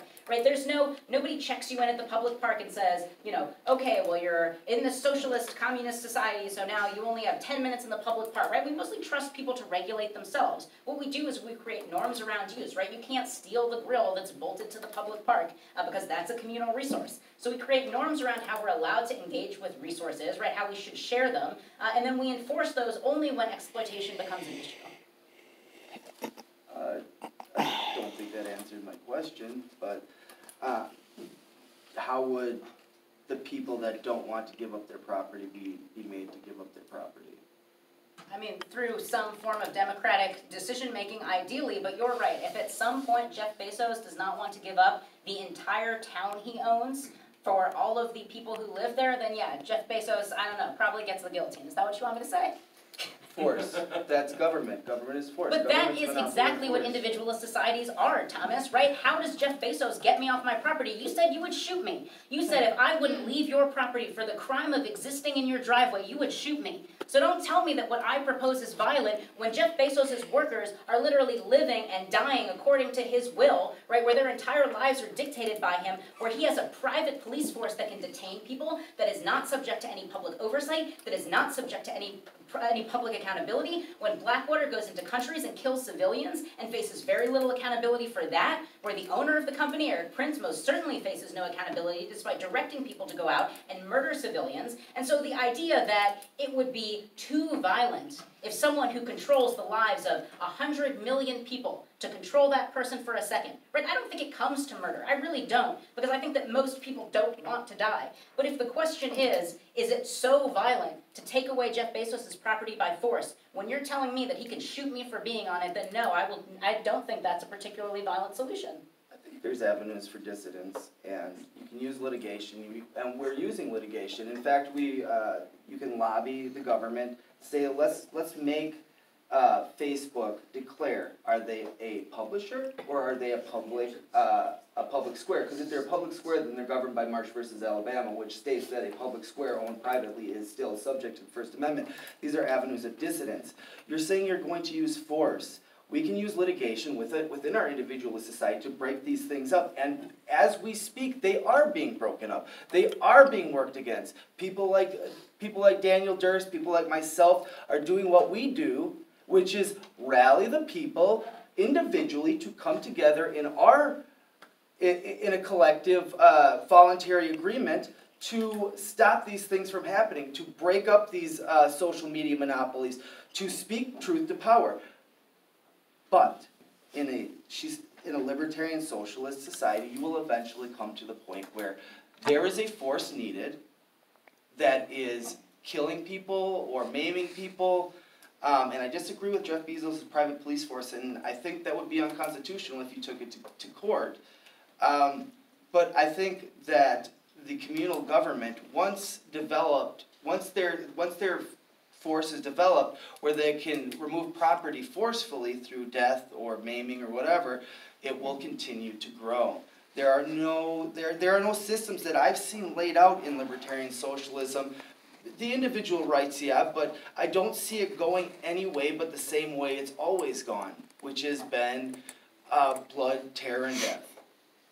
There's something deeply wrong with a society where someone can work a million people into the ground, but enacting any kind of force on that one person is violence, right? There's something deeply wrong with a society that operates like that. There's something deeply wrong with the failure to recognize that the military has been, right, that the military and police forces are how private property rights get enforced. You can, and every single solution that you have come up with that is not the use of direct force, that is not shooting someone on your property, is a collectivist arrangement. Right? You cite Marsh versus Alabama. The idea that if a private company owns too much of the public square, the public actually gets to coerce those people into doing things differently. That is a public solution to a problem that would not even exist in a collective world, right? That is only created by individualism. The idea that we should just keep allowing corporations to create monopolies and then the collective should come in and forcibly break them up. How do you break up a corporation, Thomas, right? How do you go about that? You have a lot, yeah, you do litigation, but litigation doesn't break up a company. Litigation doesn't make the workers work differently. Litigation doesn't get rid of the private security force that forces workers to, you know, leave and come in or whatever it is, right? There is, that is only possible. And it is frankly wild to see an individualist act like the entirety of individualist property rights aren't predicated on the idea that the only legitimate use of the government is to protect private property through a military force. That is the essence of Lockean individualism. Right? That is the essence of it. And so the idea that it is more violent to say, we would only do that if it absolutely came to it, and if someone was infringing on the rights of many, many, many people, that is when we would have to intervene, and we would try everything in our power before we would try violence. That is far and away different from Thomas saying, I have the right to shoot you if you're on my property and I don't like it.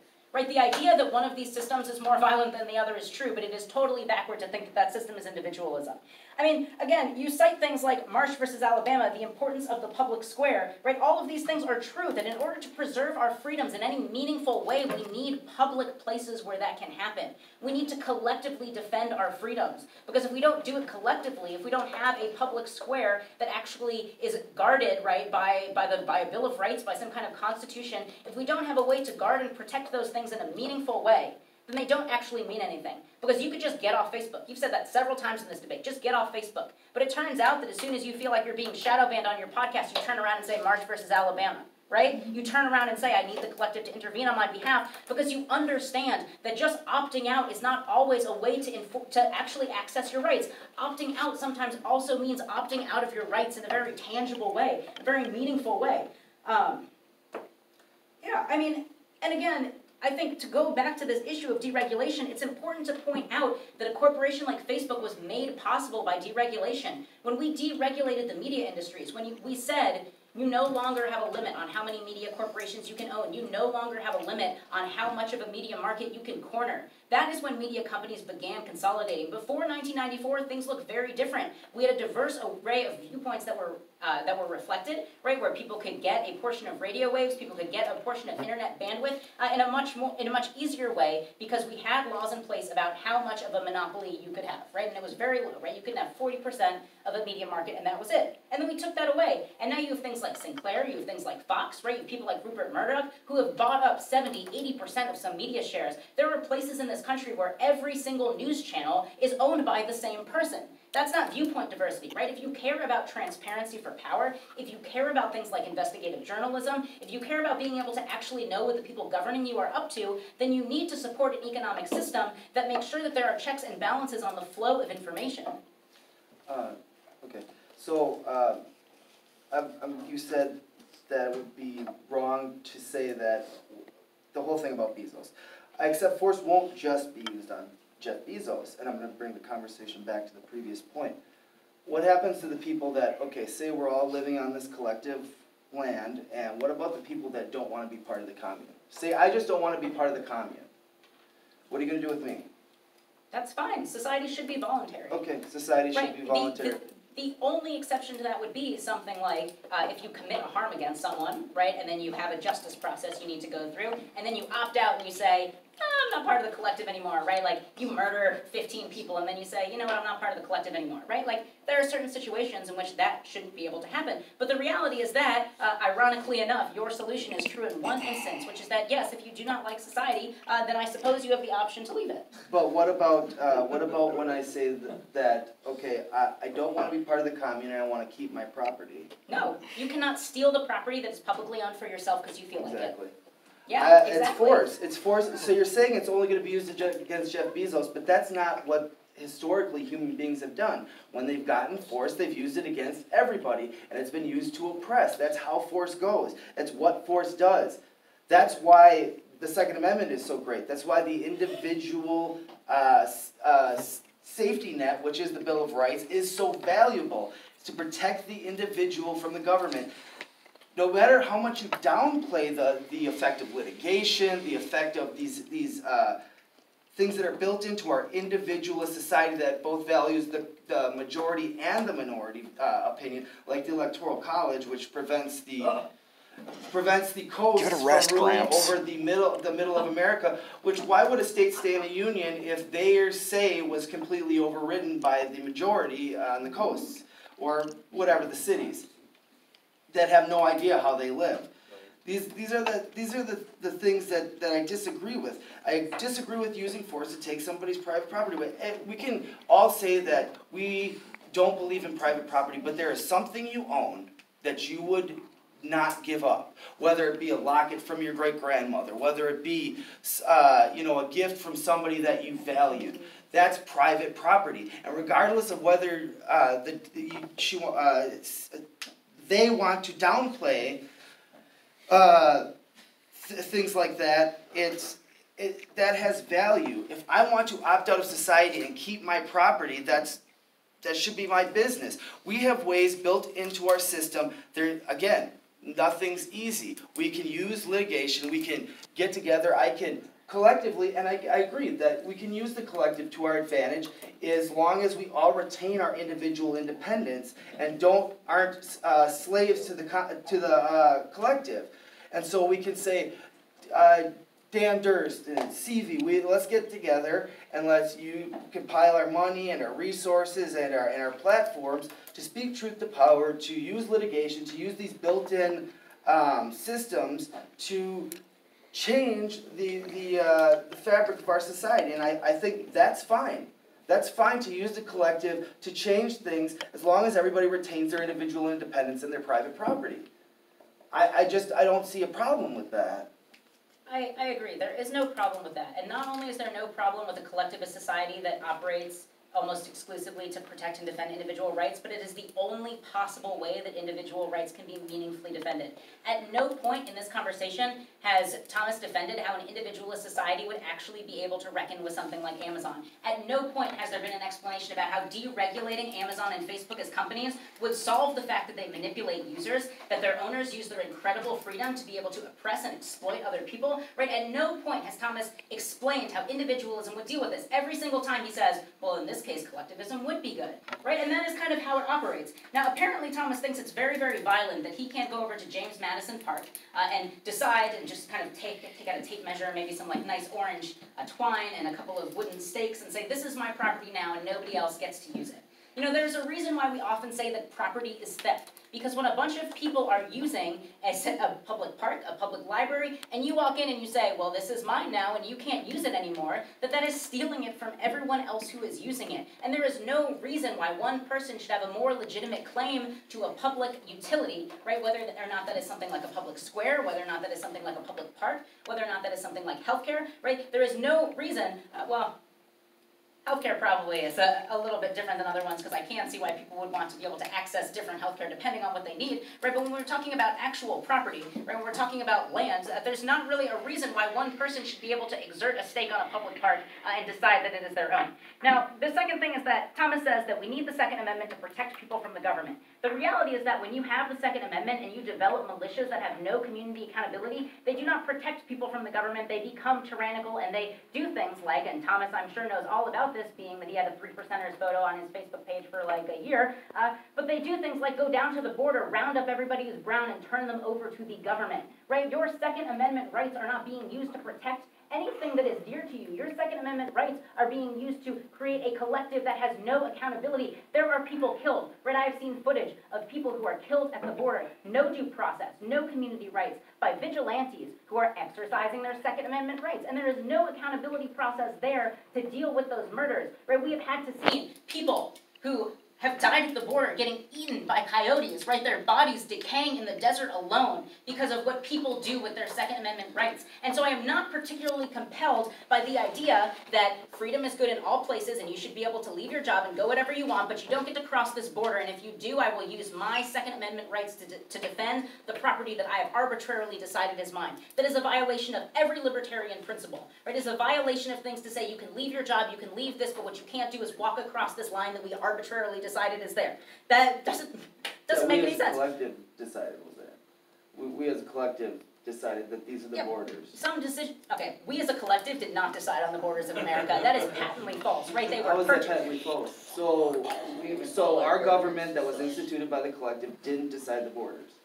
Our government was not instituted by a collective. Our government was instituted It by wealthy, instituted land-owning white males, the only people who in could. the interest of the collective. Not in the interest of the collective, in the interest of themselves, right? In the interest of the only demographic that could vote at the time. The idea that there was collective decision-making power is so completely divorced from the reality of history that it is frankly shocking. And I would like to hear an explanation for any of the ways that individualism would deal with a corporation like Facebook, right? What recourse does an individualist society have to tell Mark Zuckerberg, you are forced to provide the server space for conservatives? You are forced to provide the server space for viewpoints you disagree with. When people threaten, uh, you know, when people are able to create sharp criticism of Facebook, right, to threaten things like strike, Mark Zuckerberg can go in and take everything off that he doesn't like, that challenges him, right? So freedom of speech becomes pretty unfree when some people control the means of it. And I want to know how an individualist society deals with that other than to form a voluntary collective. And if we need a voluntary collective to access any of our rights, if that is always the case, then why would we not just set up a system from the beginning that empowers people to have a say in the decision making power that impacts their life so that these things don't happen? It shouldn't require a massive amount of exploitation and death to get to that point. Okay, so, uh, collectives, collectivists, I see deal in stereotypes quite a bit, so all militias are the same, all, all gun owners are the same, all that. Uh, I think we just disagree on private property.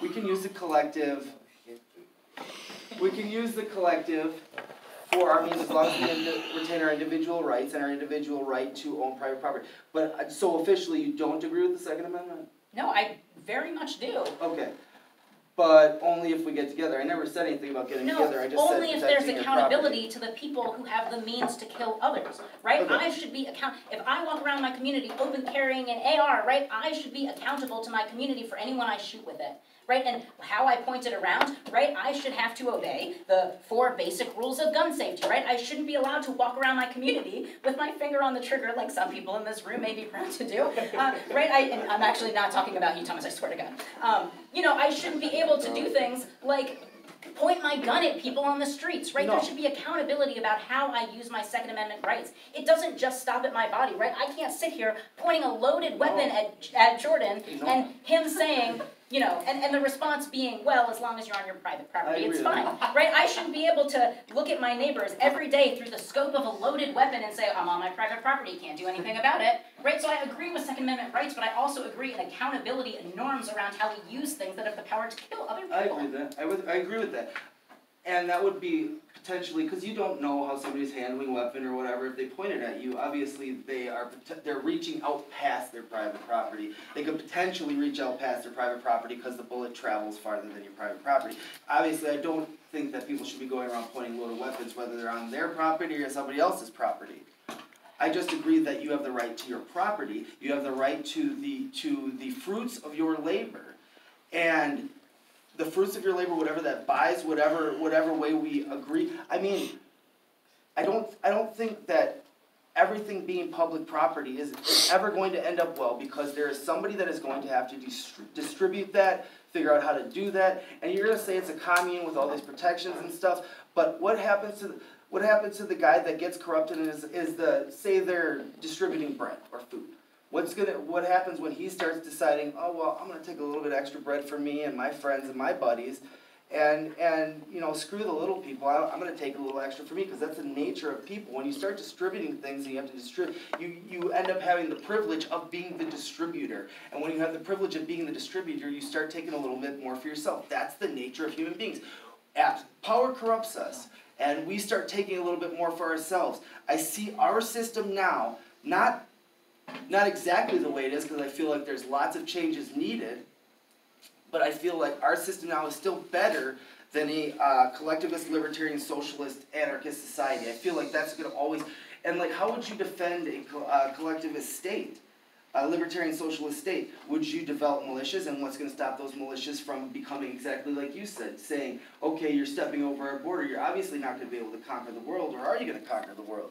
I mean, I, mean, that's, that's exactly what I mean. Like, how are you going to ensure that it's going to continue? And through these systems that you're going to need to continue it, are going to come the corruption and are going to come the oppression that comes with the collectivist society that's, I feel, has always been more prone to corruption rather than the uh, society we have that was based on starting with individual rights. Maybe it didn't start off uh, with everybody being morally correct because a lot of the founding fathers were not morally correct. Uh, but it, it started with an idea which was morally correct, which we work towards every day, which is creating a better Republican democracy that serves people better and protects their individual rights. And I think we can all, I, and, and I feel like the operation of libertarian socialism operates on the fact that there is a finite amount of property, finite amount of space, a finite amount of room. It doesn't take into account that people are innovative and we can get off this planet. We can do other things. We can use the market. We can use uh, we can use freedom to propel ourselves into and create things that will allow us all to have a, a little stake of land, a little a little stake of liberty, a little freedom for ourselves and for our family. There, what happens if people steal some bread?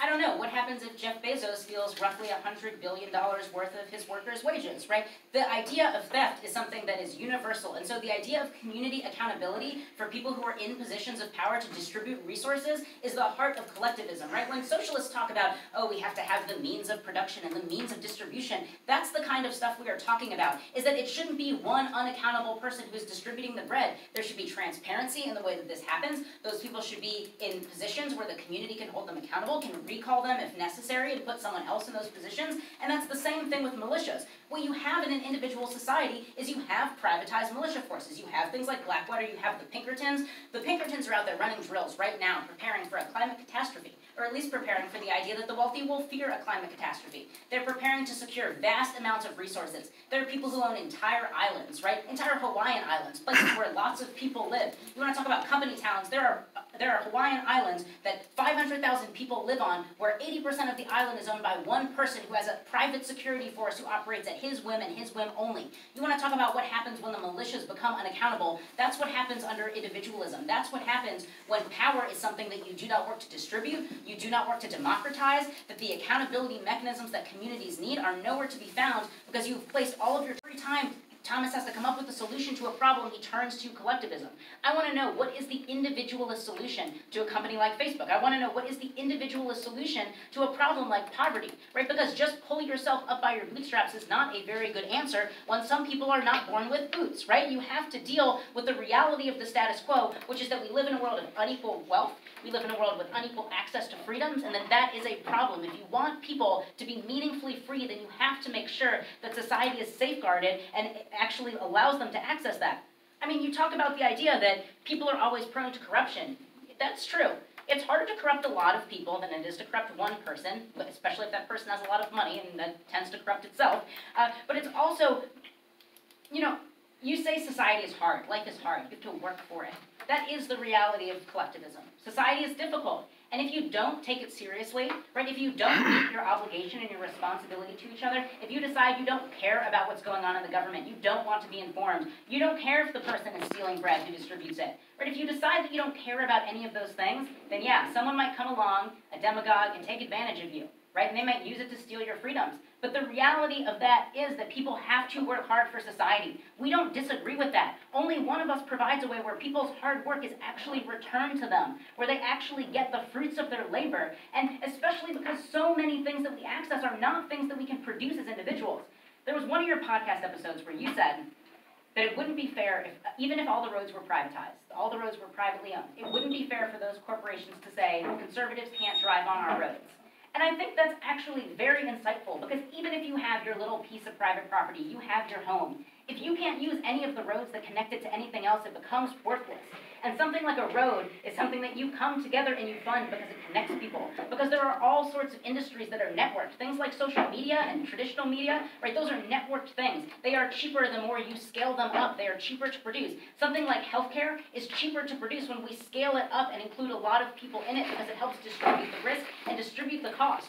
Most of the things that we need as a society are better cared for when we all share in the burden of caring for them, when we all share in the labor for caring, uh, of caring for those things. And so, yes, a collectivist society is a lot of hard work. It is. It requires you to seriously put on your boots and pull yourself up by your bootstraps and go in every day and work not only for your freedom, but for everyone else's freedom, not at the threat of hunger and starvation and death like an individualist society, but at the threat of losing the things that you love. And I think that is an incentive that people care about. People care about their libraries. People care about their public parks, right? People treat these things like they're precious because they are. They don't need them to be privatized and only their own in order to care about preserving them. I agree with a society that can use collectivism for its gain, but individuals can retain their private property. That's the biggest difference. They, they retain their rights, they retain their private property, they retain their right to defend themselves, they retain their speech, they retain all those things. Facebook's main commodity is my information. So technically, that's my property. So that's why they are accountable to me. That's why I'm using an individualist approach when I say I will hire a lawyer. That lawyer will work for me. I will talk to Daniel Duerst, who gets his own lawyer. We'll have our own team of lawyers, and we will cause enough trouble for them, enough pressure, and make enough noise within the community that they will have to be answerable. And even if that's a national community, that's that's, that's an individualist approach, whether you think it is or not. I'm not saying that individuals can never come to collect, come together collectively, but they must retain certain individual rights, which is including private property. You said that some of us don't have access to the same freedoms, correct? Or just the same economic freedoms? The same freedom. So what laws, what, what freedoms are those that we don't all have access to? You have produced 10 podcast episodes about how conservatives are being denied their freedom of speech by Facebook. Yeah, but that's on their platform. We've made our own platforms, but then they organized and racketeer, which is actually illegal, but you have to find the proof for that, which is where And, investigative and again, your journalism way of comes in. intervening in something like that, right, your way of maintaining and preserving your freedom of speech is to hire a lawyer, which I guess if you can't go hire a lawyer, go fuck yourself, right? You don't get a right to free speech if you don't have the money to There's hire a pro lawyer bono because, lawyers. oh, good, find a pro bono lawyer. Great, good options, Thomas. To take your lawyer and to go to the collectivist system of justice that we have established and to ask the collective to intervene on your behalf, right? To take a lawyer and to say, Facebook is exerting their individual rights to property, right, to the servers, to the digital space. They are exerting their individual right to property in a way that compromises my freedom. And so now I need to call upon the collective to protect that. There is no way that you, the only way that you can do that as an individual beyond that is to march yourself over to Mark Zuckerberg's house, property rights be damned, and I guess shoot him too. I, I think you're taking this completely uh, intellectually dishonest way. Um, so we we have we have ability to hire a lawyer. Yes, we have a, we have an ability, but you you fail to realize that Facebook's commodity is my property, my information. That's not even what your boy Locke thinks. You are a Lockean, that's what you told me, I'm a Lockean individualism. Locke believed in the idea of lead I men. said there was Lead- multiple influences. Leet men in are a, leet men are a class of non-property owning individuals who are tied to the land and forced to work there. They are indentured servants, right? And in, and, sure. Less audience commentary, but yes. Right, and so the idea that that is your property doesn't change the fact that you signed a contract with Facebook. You don't pay for Facebook, right? Facebook owes you nothing under your world. And so you signed a contract in which you traded access to Facebook servers for all of the things that you produce. That's not your property. You Legally, signed they a don't contract. enforce the rule, they don't enforce the rules equally, legally. They, Even, they are not, they even don't that have to. contract that you sign is not legally enforced equally. So therefore, even under our laws, which is an, in- we have an individualist country, a country that's based on balancing the individual rights against the rights of the majority and against the rights of those with power. No. Where? What minority? What minority is protected in that way? The only minority protected in that way is billionaires, and that's it. The individual is protected by their rights, by their ability to speak out, by their ability to use the, uh, the resources at their disposal to cause change and speak truth to power. Yes. What, can you, well, Nick, I where mean- has there ever, where has there ever been a situation where speaking truth to power produced change and not people coming together, amassing in the streets and rioting like hell until power did something, right? Where was there ever a still time? retain their individual rights to property. But where was there ever a time where speech accomplished that? Because the flow of information is owned by individuals who control Anytime individuals wrote books that inspired other people to get together. So when people got together, that is always No, right. no, no, when when individuals wrote books that inspired people to make a change in their society. And it starts with an individual, with an idea. It always starts with an individual and an idea. That's how it works. But the idea and the individual don't affect that change until the moment it is collectivized, which is the entire point. Yes, individuals have ideas. Yes, it affects that change by changing people's minds and changing the minds of the majority. Change, why should you have to change the minds of the majority to accomplish something? Why should your rights be contingent on your capacity Because to it's the way convince a life works. majority People of don't just get born with the right ideas. You you you li- you live, you learn, you change your mind. You do different things to get, to get different outcomes. That's the way life works. Alright, I'm gonna ask you one more time. What is the individualist solution to a company like Amazon? What do you do when Jeff Bezos owns an entire town and a private security force? What is the individualist solution to that? Use your resources to either get out of that job and go to a different job, or make yourself more marketable, or go to school, or or use what you can to improve your situation. And when the next person comes in and takes that job, spends Then you go, you'll be in a different job so, if you're competent. and you don't care about the person who takes that job over, you don't care about their, you're fine letting Jeff Bezos exploit thousands and thousands of workers, and control their homes, them. control the use, use your freedom storefronts of that, speech to speak out against that company and let the person who's coming in know, hey, look, this is the way it is here. I wouldn't, I wouldn't, I wouldn't go here. Oh, stand outside the building and tell people as they walk in, and when they put in the app, you know, Yeah, People tried hired. that. You know what Amazon did? They took thousands of workers and they flooded social media. They made fake Twitter. I mean, they were actually real Then Twitter accounts because they were Amendment rights to actual. stand outside. So they should shoot him. No, not shoot him. st- Just stand carry the guns around. Yeah. Just one, just one person with a gun. That's what's going to take Amazon down. Probably going to take It's more that than that, there right? is the ability at the individual's fingertips to do multiple different things to change their situation and the situation of the collective. That's not been built into any real socialist society. I- I've No I've society named that's four. been social. Okay, Yeah, Rojava is, is, is in the middle of a war-torn country that's, you know, militarily occupied by several different people and being, and being supplied by several different foreign nations. It's not going to exist 10, 12, 13, 14, 15 years from now, I guarantee. Or else there's going to be a local militia that's gained so much power that it gets, that it gets bowled over. But that's a hypothetical. We're talking about governing nations, governing large swaths of land and large, different, non homogenous populations, and people who don't believe the same things, people who have different ideas. This is what we're talking about. Our system of federalism, of republicanism, of, uh, of having a constitution, republicanism in that it is a republic, is Yeah. representative of the best situation that we have, the best system that's created the best outcomes for the most amount of people. And you could call that collectivist, but it's not. It protects the individual right over everything.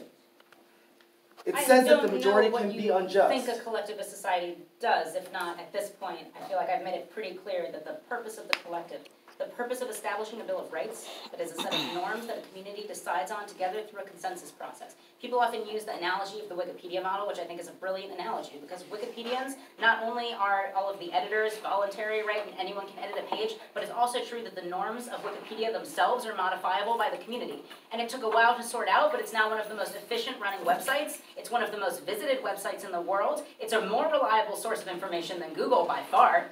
And so the idea that this doesn't work anywhere, we see it work again and again. We see all of your solutions. The idea of a federated republic of socialist anarchist communities is actually exactly the thing that I think should happen, right? But federalism itself, uh, a republic itself, these are collective societies because ultimately humans are inevitably social, right? Someone has to build the polling places, someone has to build the roads, and it makes more sense to distribute those things with the entire community because everyone is going to use them. In any other circumstance in the entire world, if you refuse to pay for the things that were needed for society to function, if you just said, I'm not going to pay my part, right? I'm not going to pay my taxes, I'm not going to pay for my part of the road, I'm not going to pay for my part of the public park, I opt out of this, you would call that theft. People opting out of paying for the things that they use, you would call theft in any other situation. And so you, I'm, you drove here, right? Drove to Milwaukee and back. You enjoy making use of these things. You would not appreciate if they were privatized. There are countries you can go to where you can pay $5 to enter a park, where there are no benches, there are no recycling bins, where people carry their trash home in little baggies because we don't have public sanitation in those Well, what if I don't use those services and I just want to be outside the commune and retain my private property? You, you've never thrown out a can in a public trash can, you've never used a I'm road, you've lived your entire life in your home. Obviously, you know that's not true. Right, because I'm it's saying, not but what if possible, Thomas, want- it's not just you- true, it's not The Amish possible. do it, the Amish, and they don't pay as much tax, they don't pay for all the services that we all pay for because they've opted out of society. They are also conscientious, conscientious objectors, and they don't have to provide military service. They are a religious sect that opts out, and we allow that because we are individualists, because we allow different dissenting opinions. I allow that some people may not want to give up their private property, and I'd be fine with a collectivist society that said, you can keep your private property, you stay over here, we'll stay over here, and we'll do our thing. But that's not, a- that's not even possible under your definition of, of this socialist libertarian, libertarian socialist society. You, because that's theft. Nobody That's just, collective, no, that's theft private property did not come from God. Private property came by stealing the things that everyone was using and making it your own. I And we disagree. need, there is no, where, where is there ever, I just, where do I you think private property rights come from? They come from the enforcement of a government that uses the police state in order to enforce those property rights. You've said that yourself many times in this, and thank you, by the way, the Amish is a collectivist society that I hadn't actually thought about, but you're right. It is a very, very well-functioning collectivist society that is not in a war-torn country that manages to sustain itself exceptionally well. You know why? Because it is they have collectively tradition, that's, that's, that's. Tradition is a collectivist system, concept. Tradition is a collect, there is no individual tradition that has half as much meaning as a one. Tradition is the kind of thing that gets destroyed in individual societies because individualism atomizes people. It forces them to think only of themselves, it forces them to think But only of the property that they you're own. twisting what I believe. You can come together as a collective to do things. Right, and my argument is that when But you you come together as a collective... But you must protect the individual's not just right to speak, but to dissent and to retain the fruits of their labor. You can't just say, I, you know, how much do you think, I don't even, I don't know, do you know how much people spend to be, uh, you know, a, a medical doctor? Probably quite a bit of money, right? Okay, and then you turn around and say, okay, now we're instituting the, uh, the Libertarian Socialist Society and your labor is free, sir. Do not, do not pass go, do not collect two hundred dollars. So you're then turning their work, their labor, how is that fair to them? To say that their labor is now collective property, community property. That's, I agree that we sometimes need to work together. A lot of times we should work together, and a lot of times we should talk to each other, and, and we live in a society because we're social animals. But that doesn't negate our rights as individuals. And that is the main principle of why of how society should be created. They should be created to empower and to uh, protect the individual's rights. And and after your uh, rebuttal, I have to get going. It, it's getting a little. One, a little. one could be forgiven for thinking, given how little we're paid, that things like teachers and librarians are actually doing free labor for the collective. Uh, but that's not how it works, right? Public school teachers are paid. Librarians who work in public libraries are paid. Doctors and in countries where there is socialized medicine are paid, right? I don't know what you think happens. I don't know, again, if you think that police come to the door and they force doctors to go to the hospital No, every no, no. I don't know if that's how you think that these societies work. not how I think. But the idea that you keep repeating, right, that humans are social animals, that people should be able to voluntarily form collective agreements with each other. Well, The only difference, rights. while retaining their individual rights, what you seem to fail to forget over and over and over again is that we live in a world in which we are networked with each other. And the best possible societal arrangement is not one that says, you retain the right to yourself and anyone is able, as long as you voluntarily enter into this indentured servitude contract, that is perfectly fine. What it means is that as a collective, we have an obligation to each other to treat each other without exploiting each other, right? To not do physical violence to each other, right? But we also have responsibilities socially in other ways and that we should design a society that takes that into account. If humans are by nature social animals, if we need each other to survive, if living alone on your private property sounds more like torture than it does a fulfilled free life, that is because humans are by nature social. And when we think about how to establish a society that can actually account for human nature, right, that allows people to flourish, that allows people to most productively create voluntary arrangements with each other, that cannot happen unless you preserve individual freedom at a collective level, that you stop people from trampling over each other. That that is not some kind of undue influence, that that is not coercion, that that is the meaning of liberty and freedom, right? To make sure that people can be meaningfully free meaningfully free to use their lives, right, to make choices, that choices are actually available to them. Like the idea that we should just act as individuals and as long as I got mine, I don't have to do anything else is not realistic because humans are inevitably social. And so we should have a society that is designed around and incentivizes not only sociality, but incentivizes the kind of sociality that is good for humanity, right? That's what churches were excellent at for a long time. Not in all the ways, but in some of the ways, right? That's what cultural institutions and traditions have done the most to preserve, because those are collectivist institutions. It is when we became atomized, it is when we only began thinking of ourselves, that society started to break down because we didn't care if other people were exploited. You see right now, you can look right now, you post a video that says conservatives shouldn't be banned by Facebook, I guarantee you a bunch of liberals are gonna say, haha, too bad. Nobody cares about preserving each other's freedom of speech anymore. Mm-hmm. It- they care about how they can accumulate power and wield it against someone else. Right, right now, it's very nice. We're censoring all these conservatives. We're censoring Alex Jones. As soon as conservatives get into power, we are fucked, right? The idea that we should just collectively make arrangements and wield power against each other in any way we see fit is a very poor substitute for actually decentralizing the power that impacts us. Well, and I don't think that the state just forces uh, doctors, but they determine the price, and the price, the doctor should be able to determine the price for what their time and what their uh, education is worth.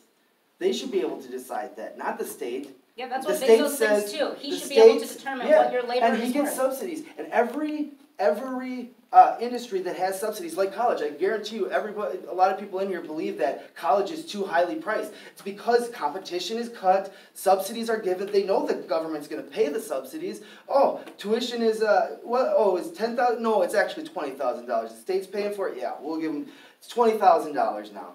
And then it goes up, and there's no competition. Look at the price of college textbooks. There is no competition. You have to get that textbook. And how much is it? What, like three hundred dollars a textbook? Four hundred dollars a textbook?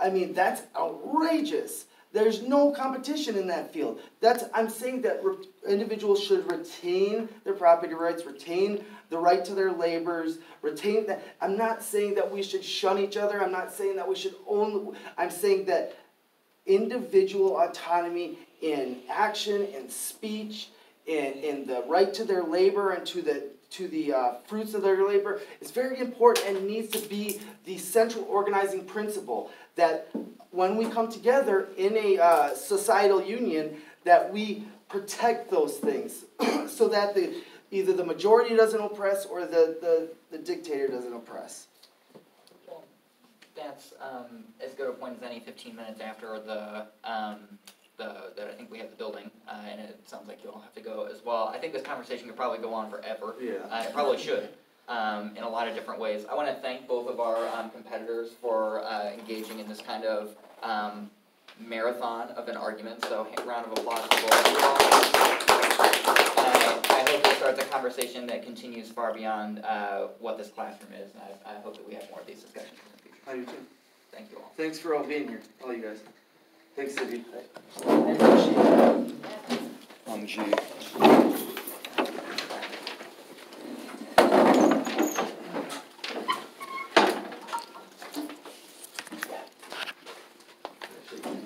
That's some fiery stuff. Oh, this gum is so fucking.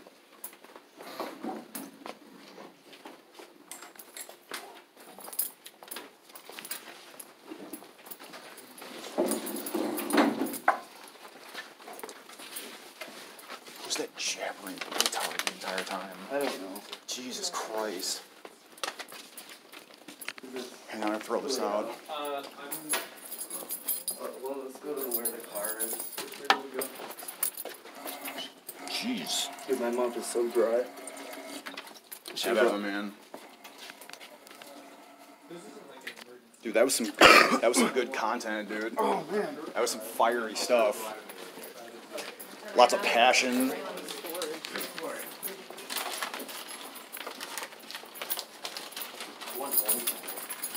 I think that was the guy that I. I think that was the guy that I argued with at the rally. Was I he like was he sure. chest bumping you? No, no, it was the guy that I was like. We were talking about. um Was it was it you like calling shit out the entire debate, dude? Well, I'm sorry, man, it's a totally fucking repressive Repressive. I mean, you know. of, of. Well, if it's so, you know, if it's repressive, just let him hang himself with his own. You know, Well, you don't have I'm to be the. sorry, but I have to sit, I got You ain't- there gotta be the- I got there at six thirty, and, and two hours later, I'm still all I'm saying, there, all I'm saying is you ain't got to be the organic peanut gallery. Oh, That's I'm all I'm sorry. saying, okay? You know, everybody got sat there mute. Hey, get out of your social device. Have a good one, love ya. It just made me want to gouge my own eyes out. Is all. Just the constant brain interruption and the flow of the I thought it was good. I was dying in the beginning, kind of, and then it got kind of stalemated, and then it was kind of CV, and then it was kind of me, and then it was I just, forth. I was enjoying it if it weren't for dude, like you know, I think, I repeatedly. mean, I give CV a lot of points, more probably more than me, because I mean, if I would have had my freaking notebook. Hey, which by the way, it was not me. No, it wasn't, it wasn't me. I just, I used you as an excuse, man. No, but was- then we were there, and then like we like, I, I grabbed my shirt, and then I didn't grab my fucking notebook. no, but then the chattering peanut gallery started in with the fake laughing and shit. Hey, Yeah. so you want to go to a fucking walking spot? Chill, maybe we'll buy you a beer or something, or maybe not. A, got to drive. I don't know. Yeah, I don't drink. Right. I I don't really drink that much either, but like once a month I'll do like a mini binge or something. Do you want to stop? Do you need to stop home for anything first? No. Do you want to drive? Do you want us to drive right back? Do you want me to drive?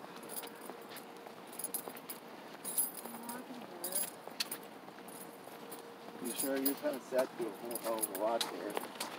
I? Uh, What, are you talking about going by, your, by yourself? Well, no. Maybe to take him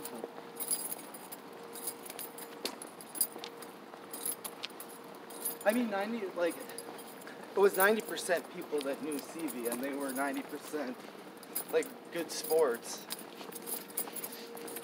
uh, yeah, it was just you know.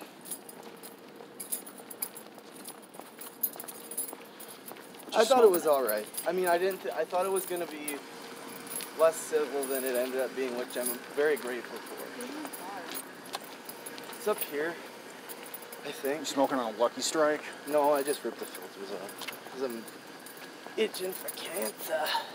Dude, like I think think I think a. Lucky Strike's the only pack that I've ever bought. uh, Well, other than when I was 18. It's embarrassing to admit, but I did buy a pack of cloves once. That was embarrassing, but I did that. That shit will make you dizzy and nauseous. It was definitely good practice, man. I haven't fucking racked my brain like that in ages. Thanks for letting me use you as an excuse for the notebook. I just, I just like. I had so much shit written down in there. Yeah, but I thought I didn't even know that she was gonna have as many notes as she did. Never underestimate your opponent. No, I mean, uh, I think I'm gonna. Is this a private or a public tree that I could po- potentially piss on? Taking advantage of the. But like, yeah, at least I got her to admit that like. The guillotine, but she kept saying, "Oh, it's only gonna be Bezos," but it's not only gonna be Yeah, she kept going to Bezos. Bezos, and I was thinking, because I mean, I don't know why there wasn't a Q and A, but I would have asked if I, you know, I mean, I'm not sure if I would have asked anything, but It- it I would have been didn't- like, we what, hold on a s- sec. I would have been like, hold on a second. What about the family filing jointly for like 125k to 250k See, that has to pay like half of the their fuck, half of their fucking money in taxes? Like, what about them? That that's more or less like Hey, I don't see my car. Wait, it was over here somewhere. no, it was over here because I remember this building. Did you get Why, car? how come when I'm pushing my car button and all that Oh. I was gonna I say, was did, like, what the fuck? No way, dude. But no, again, um, it's not about Bezos. It's about the family filing jointly for like 125 to 250 a year, who already pays like half. You know, state property, federal. Yeah. That's what I would have brought up. I'm sure she's gonna write an article saying, "Who's an idiot?"